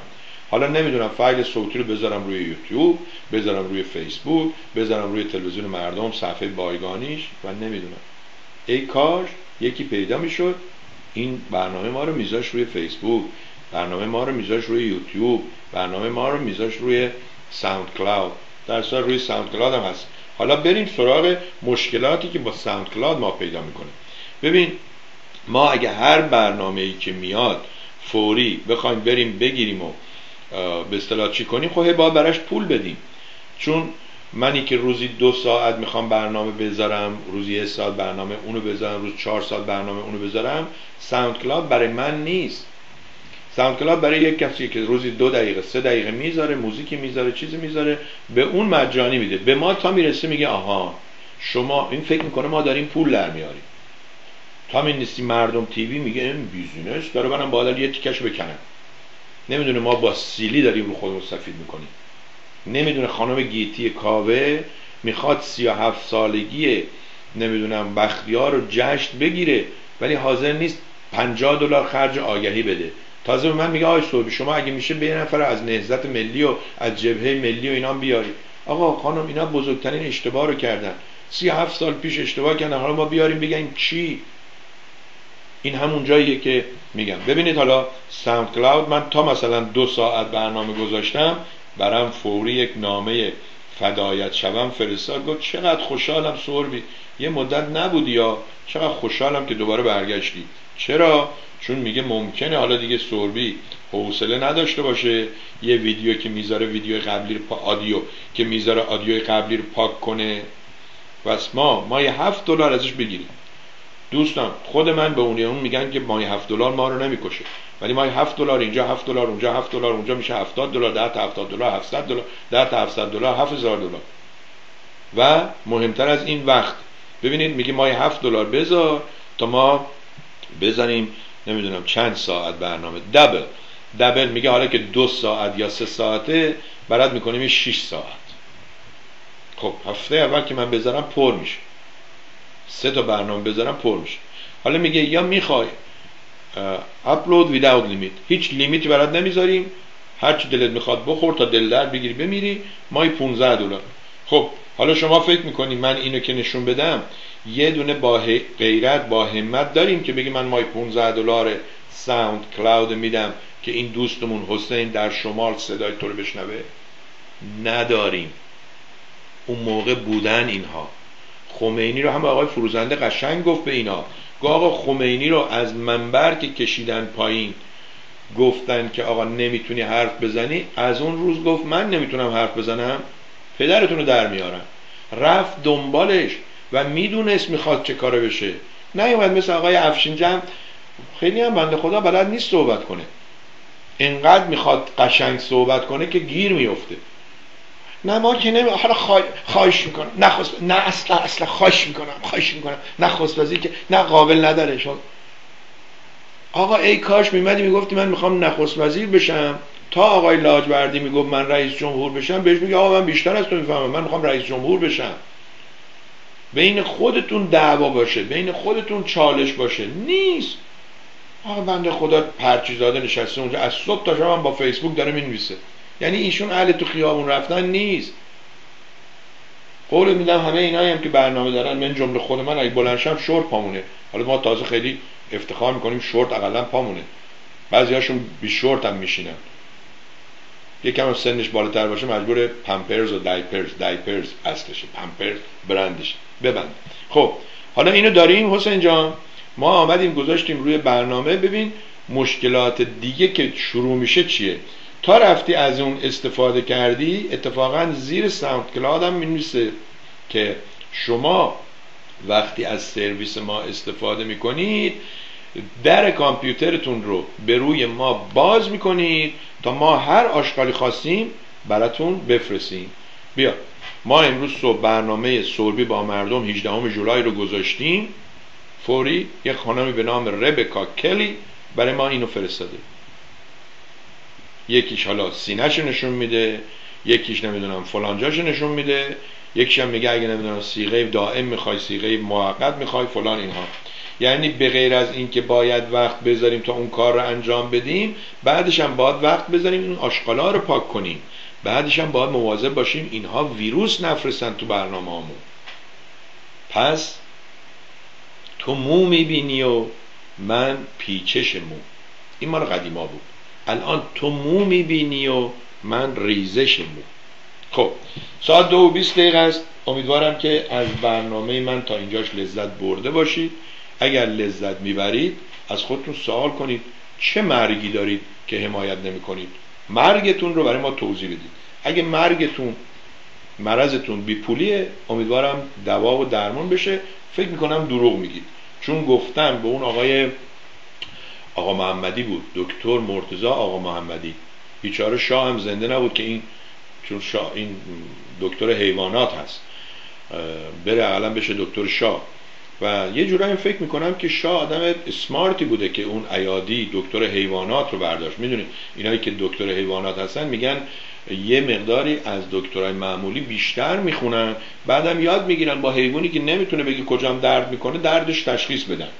شاید شاه هم اینقدر فکر می‌کردیم همه چیز می‌دونه ولی حتی نمی‌تونسته به دکتر خودش به کجاش درد می‌کنه. و این خاطرم بود بیچاره جوان مرد. خب آقای عباس سعیدی جمعه ساعت سه بعد از ظهر متریالیست ایشون میاد صحبت می‌کنه. به فکر این هستیم یه برنامه با فکر با مسما پر محتوا داشته باشیم. ولی آقای سعیدی من می‌دونی که هرچی تو دلم و تو مغزم میاد تو زبونم میگم. امیدوارم شما هم چون این حرف میگه لاجرم بر دل نشینم. سخن که از دل برایت لاجرم بر دل نشینه. البته من امیدوارم سخنامون از مغز بیاد به مغز بشینه. ببین دوست عزیز من اگر میرم یه جایی میگم آقا یه ساندویچ می‌خوام چنه؟ میگه دو دلار. میگم من اگه 15 تا بخرم چنه؟ میگه بهت میدم یه دلار. بعد بهش بگم اوکی یه دلار. قبوله؟ میگه بله. بعد بگم بیا این یه دلار میگه یه ساندویچ بده. شما فکر می‌کنی که این وسط کی کی داره کار خلافی انجام میده؟ اون ساندویچ فروشه که میگه آقا من کی گفتم یه دلار؟ گفتم اگه 15 تاشو بخری یه دلار. دوست عزیز من با شما قرارم این بود. اگر هر هفته برنامه بذارید 20 دقیقه یا 30 دقیقه در برنامه خودم اینقدر اگر شما می‌خوای برنامه خودت باشه مستقل باشی مثل آقای یزدان پناه یزدان پناه مثل آقای یزدان خدا بندلو باشی اون فرق می‌کنه. تو رو به هر کی دوست دارید این کار زشت رو کنار بذارید. من یه دوستی دارم کارهای منزل و اینا می‌کنه. میگه آقای سوربی دلم از دست ایرانیا خونه. ولی میگه چیکار کنم؟ دوستشونم دارم. وقتی هم بهم زنگ می‌زنن نمی‌تونم بگم برگم شد میرم کارا رو انجام میدم. میگه میرم میگه این کار انجام بدی این کار انجام بدی. چقدر؟ میگم 600 دلار. میگه اینم بخوایم چنه؟ میگه مثلا 800 دلار. میگه خب پس برای این کار 200 دلار. میگم بله. میگه خب این 200 دلار. میگم نه بابا اگه این کارو با اینو با این انجام بدم. بعد میگه وای میسم کارگرام سوار ماشین که میشن خانمه میاد میگه قربون شما نردبون داری؟ این لامپ هم عوض کن. میگم خانم نردبونه که گذاشتن رو ون کارگرام هم رفتن نشستن اونجا. حالا من دوباره به اینا بگم بیاد. خب همه اول جون بکنید بگید. یه مقداری جون بکنیم. حرفمون رو بگیم منظورمون رو بگیم. آقای عباس سعیدی لطف کردید. دو تا عکس فرستادید. دوست عزیز ببینید صفحه کامپیوتر صفحه تلویزیون این روزا چجوریه؟ من نمی‌دونم اینجوری بگم طول عرض یا بگیم طول و ارتفاع.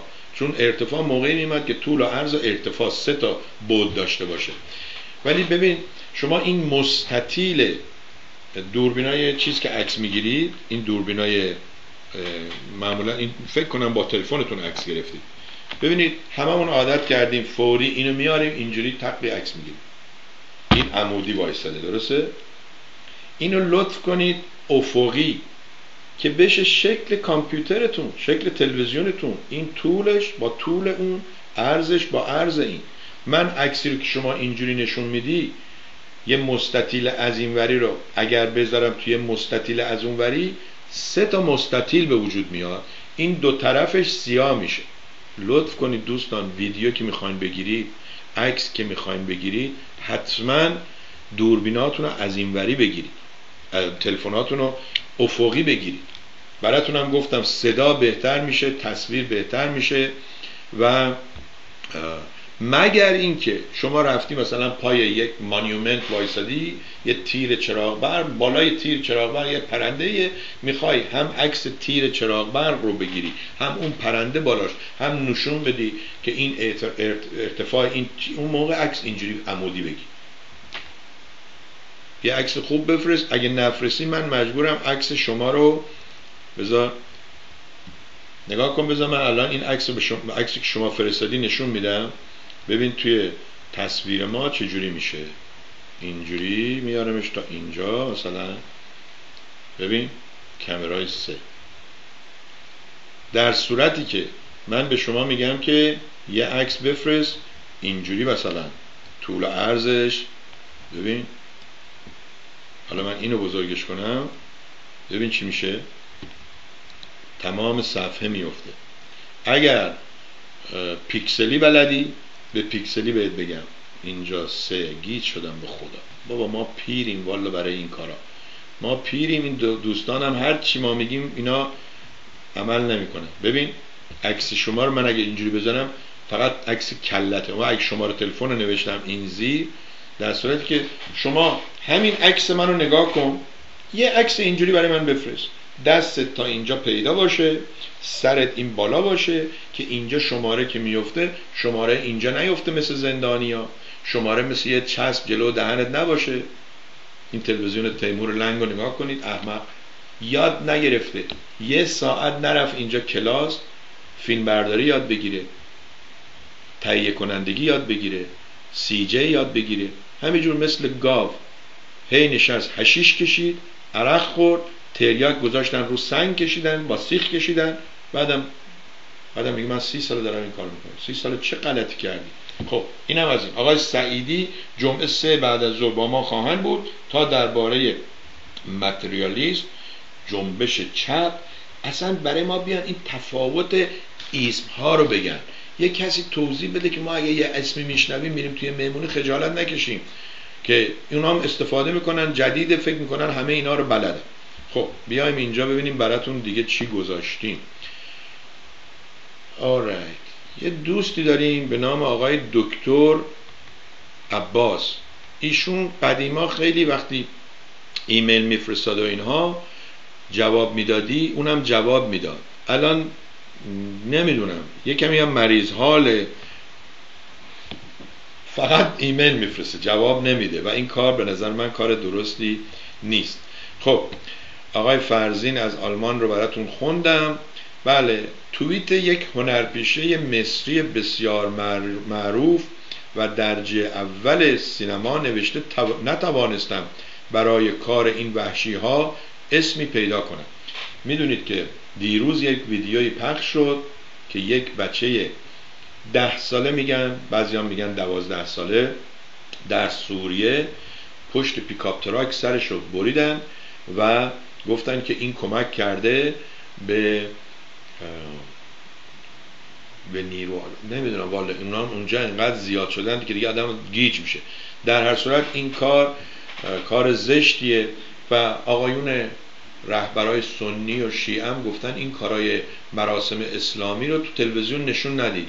یعنی به یه نوعی گفتن بله این درسته فقط تو تلویزیون نشون ندید ویدیو نگیرید. همینجور یواشکی بکشید و چلتا چلتا دفن کنید. ولی تو تلویزیون و فیسبوک که نشون میدن حالا سوال اینجا پیش میاد که آیا یوتیوب آیا فیسبوک باید اینا رو بذاره که آقای نادر برای من دیروز فرستاده بود؟ آقا نادر اینا رو نفرستیم برای هم دیگه. اینا شما داری برای آیسیس مجانی کار می‌کنی. چرا؟ اون این کار می‌کنه که مردم بترسه. شما پخشش می‌کنی که مردم بیشتری ببینن و بیشتر بترسن. خفشون کنید در همون نطفه خفشون کنید بندازینشون دور. نظر منه. نظر شما چی خب اینم از این. و حالا دوستمون نوشته یک بچه جوان را مانند بره در مقابل مادرش در سوریه سر بریدند. آیا انتظار دارید این دین باقی بماند؟ در روزنامه محلی نوشتم من بیدین شدم خیلی ها همراهیشان را با من اظهار داشتن اینو شما نوشتید یا اون هنرپیشه نوشته؟ چون شما وسطش کلمه کاکو استفاده کردید من فکر کنم یعنی بعدش شما نوشتید. ضمنا بله خیلی ها هستن. اصلا دیگه اسم چیزاشون نمی‌دونم بیدینان هست و نمی‌دونم واقعا به کجا می‌رسه. امیدوارم شما هم یا همون در سفر که هستی هر وقت تنها هستی با اسکایپ و با تلفن و اینها بتونیم با هم صحبت کنیم برنامه داشته باشیم. و اما باز هم شما این عکس رو نگاه کنید البته با عربیه. این دوستمون گفته به زودی برنامه شما میشه بیشترش عربی. اب نداره. تا اونجایی که بفهمیم. بعضی وقتا آقای رنجبر اینو اولین بار گفت و من خیلی خوشم آمد که میگه ای بسا دو نفر که زبان همدیگر رو صحبت نمی‌کنن بهتر همدیگر بفهمن. ای, ای بسا نمی‌دونم. خدایا چرا اینا اینجوری یادمون میره؟ چون استفاده نمی‌کنیم. ببینید بالای این ایشون نوشته که دختران ایزدی. که آماده به کنیز شدن مردان داعش نبودن زنده زنده سوزانده شدند هیچ کدام از مراجع اسلام سنی در عربستان و مصر این رفتار وحشیانه را تقبیح نکردند ایزدی ها پیروان یکی از مذهب های زرتشت هستند که در طی تاریخ خلافت اسلامی و اموی اموی عباسی و عثمانی و حتی اسلامی حالا در شمال شرق به پیروی از این دین خود ادامه دادند این جنایات این جنایت در جهان متمدن امروز اتفاق می افتد و تمام دنیا خاموشی گزیدند دوستان اینو می‌بینید اینجا این زنها رو توی یک قفسی نگه داشتن و این کار رو قبلا ISIS هم کرده بود. مردا رو توی اسید انداخت. مردا رو بالای شعله‌ی آتش سوزون می‌بینید این عقب یه pickup truck یک چیز مثل زندان یک قفس مثل قفسهایی که مرغ میریزن داخلش و اینا. این زنان با لباس سفید و این مردان هم وایسادن و دیروز اتفاقا یک ویدیویی رو یه نفر گذاشته بود یه معلمی صحبتی که پشتش بود عربی بود. بعد همه فوش می‌دادن به اون معلمه که اینا رو می‌زنه. من گفتم خجالت بر اون بیشتر خجالت بر اونایی که وایسادن ویدیو می‌گیرن به جای ویدیو گرفتن بزنید این مردکه رو بندازید اون ور. برید استاپش کنید برید از این کاری که داره انجام میده به قول معروف متوقفش کنید باز نگهش بدارید. چی بگید دستت ممنونم از این دوستمون. خب نوشته که با سلام. متاسفانه آها این دوستمون نوشت. ببینید دوست ما احساس تأسف می‌کنه. ولی به خودش نمیگه چرا این همه رسانه ها اومدن پیدا شدن. برای که اونها احساس تأسف می‌کردن و اون کاری که انجام می‌شد دوست نداشتن اومدن جلو. آقا فرزین گل شما نوشتی که متاسفانه نظام کنونی غرب فاقد خبرنگار تحقیقی و انتقادی است. تو پرانتز انتقادی. در سال 93 میلادی پایان نامه ای نوشتم تحت عنوان حقیقت و واقعیت. با زیرنویس راهیابی به اصل موضوع بر چسب تفکیک لذا ساعات اول ماجرای جمعه شب کودتای ترکیه فلان سوال اصلی این بود. خب من برای همین دوستمون نوشتم آقا جای شماها در تلویزیون مردم خالیه. نوشت که نه من چون دیدم شما در آلمان بودی اینا رو برات میفرستم. آخه من نمی‌دونم اون چیزی که من نوشتم جوابش این درسته؟ شما بنویس بله خودم هم فکر می‌کنم جام خالیه. ولی می‌خوام دنبال پول باشم پول بسازم فعلا وقت ندارم. چی بگم آخه؟ خب علی شیرازی برای ما یک ویدیویی فرستاده از یه شخص بسیار معروف در آمریکا و بسیار معروف در تلویزیون آمریکا. NBC بله کانال 4 نشنال برادکستینگ این آقای دیوید لدرمن و از روزی که از یک سال پیش برنامهش رو قطع کرد دیگه ریشش رو نزد. خیلی قشنگ توضیح میده. میگه آقا من از 20 سالگی هر روز ریش زدم. 68 سالم که شد بازنشست شدم ریش نزدم. این آقای 68 ساله یه پسری داره چهار سالش. چون دیر ازدواج کرده و چندین ماجرای سکسی و اینا هم داشته که خب زندگی خودشه به من و شما مربوط نیست. در هر صورت میگه که فرزندم به من میگه این چیه؟ creepy looking میگه مثلا قیافه زشت چی برای خود درست کردی؟ گفته که بله من قیافه زشتی دارم ولی بابات هم باید تحملم کنی. من برای علی شیرازی نوشتم ای کاش این دوستانی هم که در جلوی دوربین ها در پشت میکروفون ها دارن صحبت می‌کنن این همت و غیرت و شجاعت این آقا رو داشتن بازنشست بشن و برن. همه اینها نشستن تا نشستشون باز شده جلو تلویزیون. و دیگه می‌بینید فکر کنم یکی یکی حالا باید شاهد باشیم اینا جلو تلویزیون بمیرن. فکرش بکنید خود من اگه اولیش باشم بمیرم چی میشه؟ خب اقلا اونا خوشحال میشه ممنونم علی شیرازی عزیز. و اما این ایجنسی هم علی جان وقتی ایمیل میفرستی لطف کن اون سرتیتر خبره رو کپی کن بذار تو قسمت موضوع خیلی قشنگتر میشه. تا این همه ایمیلات no subject no subject no subject به نظر من بده. خب بوتیک بیژن در لس آنجلس را یک ناشناس خرید. اولا این امکان نداره که ناشناس باشه. چون خرید فروش املاک خرید فروش چیزای دیگه اینا پابلیک اینفورمیشنه مگر اینکه اینایی که این کارو می‌کنن یه شرکت های درست می‌کنن به نام شل شل کلمه صدف. اون کلمه صدف و شل و اینها هست. که یعنی خودشون رو قایم می‌کنن زیر این. حالا اروا امشون اونا مرواریدن که زیر شل خودشون رو قایم می‌کنن. زیر صدف خودشون رو قایم می‌کنن. معمولا اینا دوزایی هستن که به یک وسیله مثلا اینو که خریده 66 میلیون دلار این ساختمون رو خریده. این ساختمون هم یه فروشگاهی بود. من از جلوش هم رد شدم. همچین چیزی هم نبود.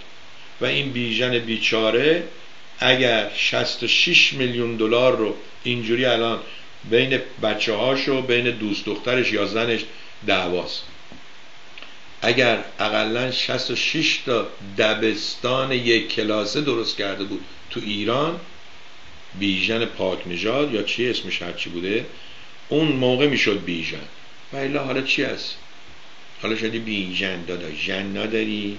اون دوست دخترت هم آمده پدر بچه هات می‌خواد بسازون خب ساختمان معروف و مجلل بوتیک بیژن در خیابان گران قیمت Rodeo Drive در لس آنجلس با قیمت سرسام‌آور 66 میلیون دلار به فروش رفته است. معاملهگران می‌گویند خریدار خواسته تا هویتش مخفی بماند. خب شادروان بیژن پاک نژاد چه سودی برای من و شما داشته که این بیژن پاک یه عطر یه دفعه من عطرش خریدم همچی هم بو خوبی نمیدم عطری ساخت و کد شلواری ساخت و نمی‌دونم. آقای فکر کنم این مال لیبی و دیکتاتورا و یه مش از دوز موزا خب هنرپیشام هستن. نمی‌دونم رئیس جمهورام هستن. و اینا کارشون اینه. یه شلوار کت شلوار مجانی میده به آقای رضا پهلوی. بعد ملت میگن ای آقای رضا پهلوی کت شلوار بیژن ها. اون احمقا میرن کت شلوار بیژن می‌خرن. این دو برابر پول رضا پهلوی از یکی یکیشون می‌گیره. اینم عکس ساختمانشو بهتون نشون بدیم. شما قصه بخورید که چرا نرفتید زودتر اینو بخرید. 66 میلیون. بفهم اینم عکس ساختمانی. مرد رفت تموم شد. آقا بیژن پاک نژاد هم به او گوزید تموم شد. قصه خلاص. بله. خب بریم مطلب بعدی. ببینیم. کروک ایرانیان وومن بارها بهتون گفتم. همینجوری که ما هی احساساتی میشیم. آقا دیدی ستاره وقتا می‌گفتن یه ستاره کورک. یعنی یه ستاره کوچیکی که اصلا توی اینا که نور می‌داد اون مثل کور بوده. اینقدر کم نور بوده. یه ستاره کورکی رو کردن به نام آقای فیروز نادری تو تلویزیون ها. او انگار که ما کره ماه رو گرفتیم. حالا خود آمریکا که کره ماه رو گرفته چه غلطی کرده؟ تو خیابوناش نمی‌تونه شهروندات خودش محافظت کنه. ضمن یه دوستی نوشته آقا شما که از آمریکا اینقدر تعریف می‌کردی چرا حالا ایراد می‌گیری؟ ببین هنوز هم بهترین کشور دنیاست. هنوز هم امترین کشور دنیاست. ولی انتقاد می‌کنیم که خراب نشه. شما یکم صبور باش بذار ما انتقاد کنیم. کروک ایرانیان وومن کروک یعنی کلاهبردار. اینایی که سر این و اون کلا می‌ذارن. مثلا آقای محسن نادری نژاد باور داره که محمود قربانی کروکه. کلاهبرداره. من تا قبل نمی‌دونستم. وقتی که آگهی هاشو گذاشتیم پول نداد من هم الان می‌تونم چیکار کنم؟ شهادت بدم که بله آقای محمود قربانی کروکی خب بیاین اینجا بریم سراغ این خانم ایرانی و نمی‌دونم حالا بهش افتخار باید بکنیم یا ما باید خجالت بکشیم که یه ایرانی. من نه خیلی به اون که کاری میشه و پول در میاره افتخار می‌کنم نه این اینا همشون شهروندای هستن که حالا بر حسب تصادف یا هرچی اینجا زندگی می‌کنن. ما ایرانی ها هم مثل دیگران آدم های موفق داریم آدم های دوز داریم آدم های پدر سوخته داریم. حالا دیگه من نمی‌خوام بگم کدومشو بیشتر داریم. Women آها woman. Accused of selling $1,000 fake handbag for years agrees to pay $50,000 in fine. میگه خانمی که ببینید accused متهم شده. متهم بود. که کیف های قلابی میفروشه به خانم ها به مبلغ هزار دلار موافقت کرده یا قبول کرده که پنجاه هزار دلار جریمه پرداخت کنه. میگه که انگلیسیه ولی خب خیلی ساده است فهمیدنش. میگه که the city attorney office Kandali European Inc. located on 9th Street and its president فاطمه وحدت نانسی مهدوی خب ببینید این خانم فاطمه اینجا شده نانسی خانم فاطمه وحدت پرزیدنت این شرکت بوده اسم شرکتش هم هست کاندوتی European Inc. According to a judgment signed July 6 by Los Angeles Superior Court, Judge uh, Gregory Keosian Mahdavi also must pay the city 12,500 in an investigation investiga- investigative cost and she cannot be present at any location where counterfeit, counterfeit goods are sold, stored, manufactured or transported میگه که به غیر از این باید 12500 دلارم مخارج اون تحقیقات و اینوستیگیت کردن همون یعنی رفتن دنبال تحقیقات و جستجوگر بودن و اینها باید بده و بعد قرارش هم این شده دیگه جایی که چیزای قلابی هست و قلابی درست می‌کنن نباشه. اونم چون دختر خیلی خوبی بوده خانم فاطمه وحدت ننسیم و مهدوی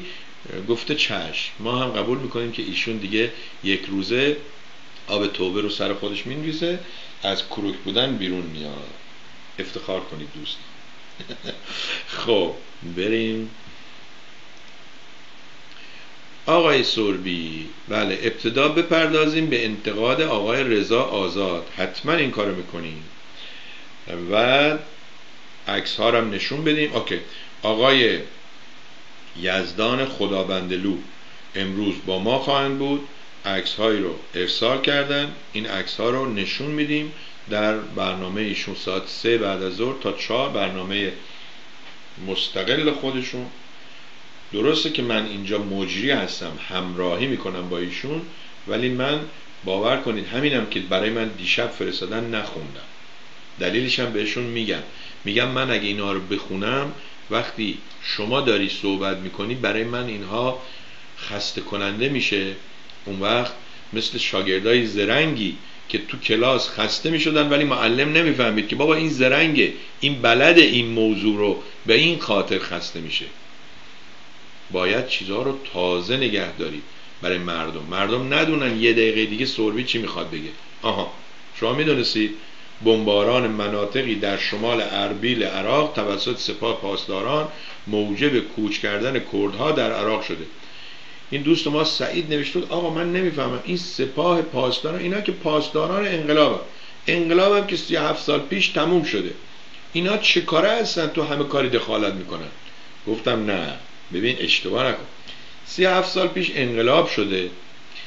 خمینی و سازگارا و اینها آقای پرچیزاده زندگی اینا رو بخون زندگی آقای رفسنجانی رو بخون ببین با چه کسایی طرفی. شما این بنده خدا آقای لاجوردی که حالا به خاطر نمی‌دونم عزیز از دست دادن عزیزش فرزندش اومده و این کارا رو می‌کنه اینا رو بذار کنار. برو اونا رو ببین چند سال رفتن تو این کوه کمرهای فلسطین و این ورور دنبال هدفشون. زندگیشون رو گرفته کف دست. ولی من و شما اگه یکم بریم بیرون گرم باشه میایم زنگ می‌زنیم به طرف میگیم امروز گرم ما نمیایم میز گرد. میز و گرد شما همینجور نگه دارید برای یه روز دیگه که هوا خنک بشه.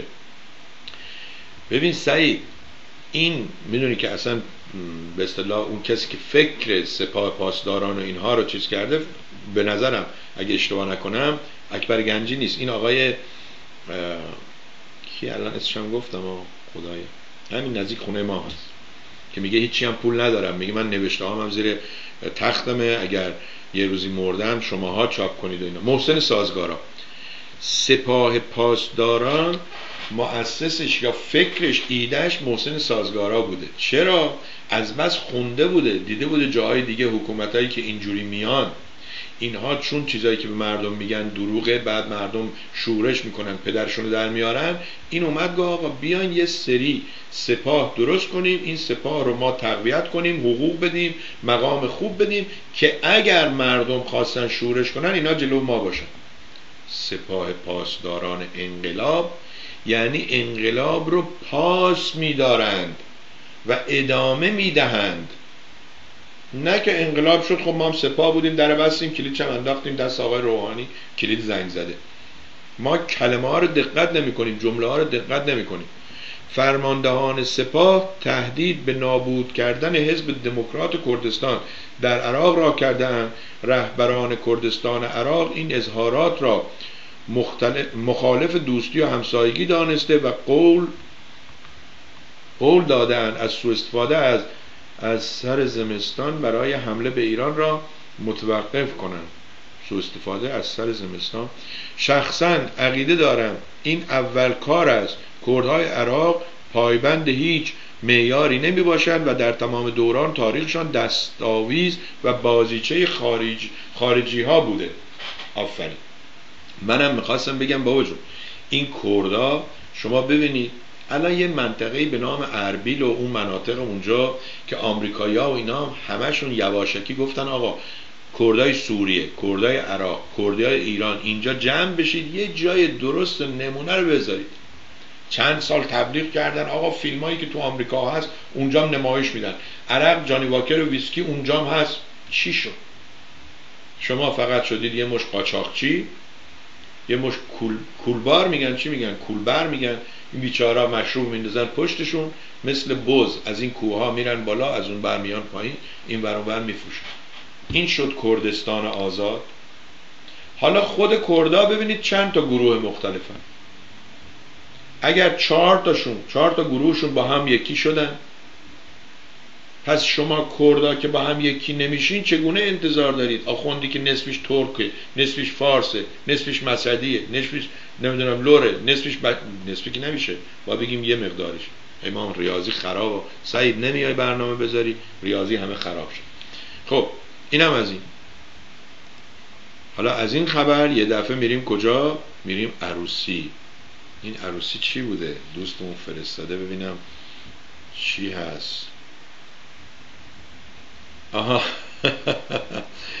خب عروسی های جالبی توی دنیا اتفاق میفته اینم یه نوعشه برای که به اصطلاح یک مزاحی هم. مزاح نیست حقیقت و ببینید این خانم عروس ماشاءالله قد قواره قد کینگ کنگ و اونم آقای داماد لباس قرمز پوشیده.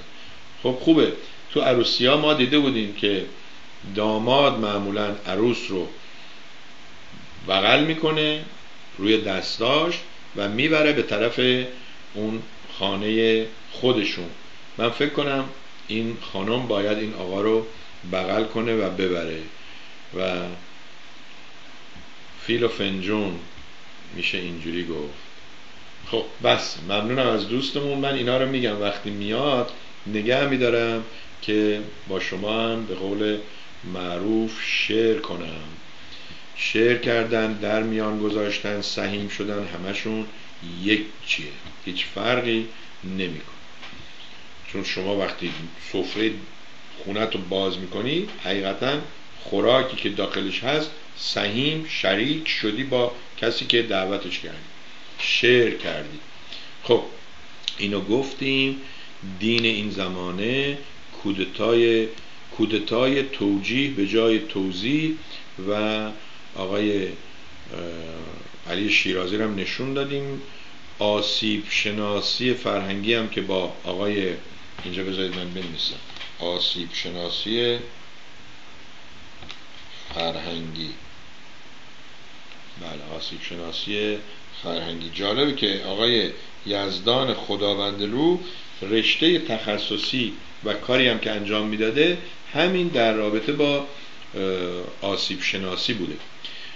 خب بمباران منطقه رو براتون خوندم و اگر می‌خوایم بفهمید که توی منطقه خلیج فارس الان چقدر گرم هست همین رو شما ببینید که این جوون ها یه قالب یخ گذاشتن روی تیکه, یه تیکه چوب نوشته موج گرما در خاورمیانه عموما و منطقه خلیج فارس قوقا کرده. خنک شدن با یخ. من نمی‌دونم چرا اینا نمیرن یه جایی زیر سایه. حالا چرا میگیم سایه؟ برای که ببینید بعض وقتا ما از حیوونا کمتر می‌فهمیم. ز شیر شتر خوردن و سوسمار می‌دونید که این شعر مال آقای فردوسیه. حالا این میگه که این سوسمار از شدت گرما خودش را انداخت تو دست شکارچی و رفت زیر سایه چادر. ببینم که هستش. بله اینجاست. اینم روی توییتر هست. ما روی توییتر هم هستیم. برنامه رو که می‌ذاریم مستقیم میره خودش روی توییتر. ولی دیگه میگم هر کدومش دو دقیقه اینجا سه دقیقه اونجا. بله اینم زدیم که حالا پلی کنه این سوسمار با سرعت روی این سنگ و کلوخ و توی گرما زیر این آفتاب نمی‌دونم چه کشوریه. داره میدوه و له له می‌زنه. حالا ببینید که چی میشه. همچین که رسید به این سایه چادر خب اون خاک اون زیرم ماشینه چادر ماشینه. چیز مرسدس بنز بود اینم فرش. خوابید و داره به اصطلاح از این طریق خودش رو خنک می‌کنه. و احیانا اگه اونها هم حتی بخوان شکارش کنن اولا خنک میمیره. خب اینم از این ماجرا. پیام سه دقیقه‌ای دوستمون چون شمارت همونه هیچ چیزی داخلش نبود. و اما روایتی ناگفته از کودتای ترکیه آقای مهدی خانبابا تهرانی. دوستان متوجه شدید که خب ممکنه این ایراده به منم بگیرید که آقا تو در... تا هم درباره همه چی صحبت می‌کنی تازه افتخار می‌کنی که درباره همه چی هم صحبت می‌کنی. ولی ما آقا برنامه تلویزیونی اسمش هم گذاشتیم انترتینمنت اسمش هم گفتیم گذراندن وقت. اونم وقتی که دیگه هیچ کاری نداریم. یعنی این کم اهمیت ترین وقت زندگیمون. ولی آقای مهدی خان بابا تهرانی شما سیاسی بودید به اصطلاح که نمی‌خوام بگیم. آخه بعض وقتا میگن طرف پخی هم نبود. ببخشید به بعضی از اینا باید بگیم پخ بود. آخه شماها متخصص کودتا. این دوستمون آقای فرامرز دادرس. متخصص کودتا. متخصص نمی‌دونم کشت کشتار. متخصص دزدی. آقا نیست اینجوری. دنیا رفته به طرف تخصص. من به دکتر زنگ زدم میگم که من گردنم درد می‌کنه نوبت بگیرم بیام. چون جراحی کردم باید هر از چند سالی عکس بگیرن که تکون نخورده باشه. ضمنا پامم درد می‌کنه. میگه نه نه نه ما متخصص پا نیستیم. من فقط متخصص این متخصص هفت تا مهره از این بالا تا پایینه. میگه از مهره هشت متخصص کسی دیگه است. اون وقت آقای خان بابا تهرانی بابا شما دیگه الان هشتاد سالت برو بابا استراحت کن. برو به فکر اون روزایی که کارای اشتباه کردی برو ریش بذار مثل آقای دیوید لدرمن خوش باش. خلاصه خبرگزاری مهر این روزها درباره کودتای ترکیه برداشت تفسیرهای مختلف می شود اما روایتی که نمی‌دونم این هودی است هادی جنات بیان کرده روایت جدیدی است. بهتون گفتم این مفسرا آقای خان بابا تهرانی و دیگران هیچ کار با ارزشی انجام نمیدن جز اینکه مثل من شما خبر رو می‌بینن به اسم خودشون تموم می‌کنن. من میام میگم آقا این رو فارس نیوز گفته این رو دوستمون فرستاده این رو حسن علی فرستاده این رو سیروس فرستاده اون رو داریوش فرستاده. اینا میان تفسیر دیگران رو میدزدن به نام خودشون. ماجرای میدزدن به نام خودشون. دوشنبه خانم ترامپ آمد صحبت کرد. گفتن آقا پنج روز رفته صحبت کرده تمرین کرد زنکه فاحشه هر چی گفته بود صحبت های میشل اوباما بوده که خدا می‌دونه صحبت های اونم مال کی بوده. سال 2004 یا 2008 2008 الان 2016 است. و اون نویسنده نوشته داده به این وقتی پخش شد دیدن دوتاش مثل همه. بعد حالا ملت احساساتی شدن. میگم آخه من نمی‌فهمم. شما از کسی که بدن خودش رو فروخته به این آقای ترامپ حالا گیرم اسمش ازدواج باشه. دیدید این دوستان چقدر احساساتی شده بودن درباره اون مجله یا ماهنامه کانادایی که تبلیغ سیغه موقت رو زده بود ازدواج موقت یا سیغه رو زده بود. کنارش دقت نکردن. تبلیغ دوستیابی همسریابی زده بود. چه فرقی می‌کنه این دوتا؟ ازدواجی که این روزا ازدواج می‌کنن چهار روز دیگه طلاق می‌گیرن. اقلا اون, یکی من نمی‌خوام بگم ازدواج موقت درسته. اقلا اون یکی می‌دونه در مقابل چه پولی. این یکی که از اول میرن دادگاه چی؟ پری نپچوال پست نپچوال کلمه نپچوال یعنی ازدواج اینا. قبل از ازدواج قرارداد می بعد از ازدواج قرارداد میسن تازه به قرارداد خودشون هم پایبند نیستن همدیگر رو سو می‌کنن. خب این دوستمون که گفت کلاود و فلان اینها حسین از ایران بهتون بگم که زیر اون کلاود دقت کنید. آخه ما همه چیزها رو بی دقت می‌گذاریم. اشکال بزرگونم از همین بیدقتیه دیگه. ببینید چی نوشته. بذار اینجا. من این یه قسمت رو برداشتم براتون آوردم اینجا. نه این نیست ببخشید. عوض می‌خواهم از شما. بله. خب کمرای دو رو ببینید دوستان. نوشته که ساوند کلاود uses cookies. این یک جمله خبریه. خبر اینکه اینها یک چیزایی استفاده می‌کنن توی برنامه های کامپیوتری که به عنوان کوکی. کوکی اینجا یعنی شیرینی بیسکویت این چیزا هست. By using our services شما حسین آقا شما سوربی شما دیگران وقتی که این سرویس ما رو استفاده می‌کنید you are agreeing. شما موافقت می‌کنید.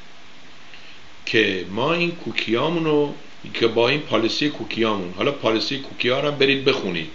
20 صفحه براتون وکلا نوشتن. بعدم حالا اینجا نوشته we have updated our privacy and cookies policy effective 29 of March 2016 by using our services you are agreeing to the updated policy. میگه شما حتی اگه مشتری ما هستی مثل سوربی مدت نبودی حالا برگشتی ما اینو برات بروز کردیم. امروز که استفاده می‌کنی شما با این کوکی های ما با پالیسی ما با پرایوسی. پرایوسی یعنی حریم شخصی شما. اون دیگه از بین رفته. میگه همین که میای از طریق این برنامه به صحبت های سربی گوش میدی من اجازه دارم بیام تو کامپیوتره. اون وقت شما میای با افتخار میگی فلان تلویزیونم این کارو می‌کنه. چشم ما هم می‌کنیم. ما می‌خواستیم تلویزیون شما کامپیوتر شما حریم خصوصی خودتون باشه. ولی یه نفر 20 دلار 30 دلار 50 دلار بده ما بزنیمش روی وبسایت خودمون که ما کاری نداریم با شما. کسی که میاد تو تلویزیون مردم تلویزیون مردم نمیاد تو کامپیوترتون. البته اون قسمتش هم گوگل اد این کارو می‌کنه. میاد تو کامپیوترتون. اگه می‌خواین بهتون میگم چجوری. برید امروز مردم تیوی که هستید یا هر وبسایت دیگری که هست. بزنید مثلا بنویسید آون اجاق برقی یا بنویسید مثلا بریک ترمز ماشین. بعد نگاه کنید اون بالا تا قبلش داشت تبلیغ مثلا زنای روسیه و دختر نمی‌دونم عرب می‌کرد و این ورم آگهی دوربین بود. بعد یه دفعه مینیسته ترمز ماشین از این بخر. این نشون میده که اون تو حریم خصوصی شماست. این دوستی داریم آقای حمید نصیری پسر جوان مرد جوانیه. در سوئد الان. این کارهای کامپیوتر انجام میده. گفت یه دفعه آقای سربی یکی از اینایی که قبلا تو تلویزیون شما برنامه داشت تلویزیون خودش رو انداخته بود و اینها با من تماس گرفت و گفت که من می‌خوام تلویزیونم رو کپی تلویزیون مردم مثل سوربی بذاری اینها. گفتم باشه. بعد گفت که ولی نمی‌خوام این تبلیغای سکسی توش باشه ها. گفت من خندم گرفت. گفتم تبلیغای سکسی کجاست؟ گفت اینها این بالاش و بغلش و این برش. گفتم والا من چون کار کامپیوتر می‌کنم مال من فقط کار کامپیوتر نشون میده. نشون میده این مادربرد رو بخر. اینو او سو یه دقیقه شد. آقای یزدان خداوند هم ما یادمون رفت. فراموش کردیم ببخشید دوستان. بذارید ایشون رو بیارم. من خداحافظی می‌کنم ازتون. یه دقیقه دیگه با شما هستیم با آقای یزدان خداوندلو یک دقیقه به من وقت بدید. ببخشید. دوستان فیسبوک هم دوباره وصل کنید با آقای یزدان خداوندلو همینجا. عوض می‌خواهم کنون و بعد بذارید اینم قطع کنم.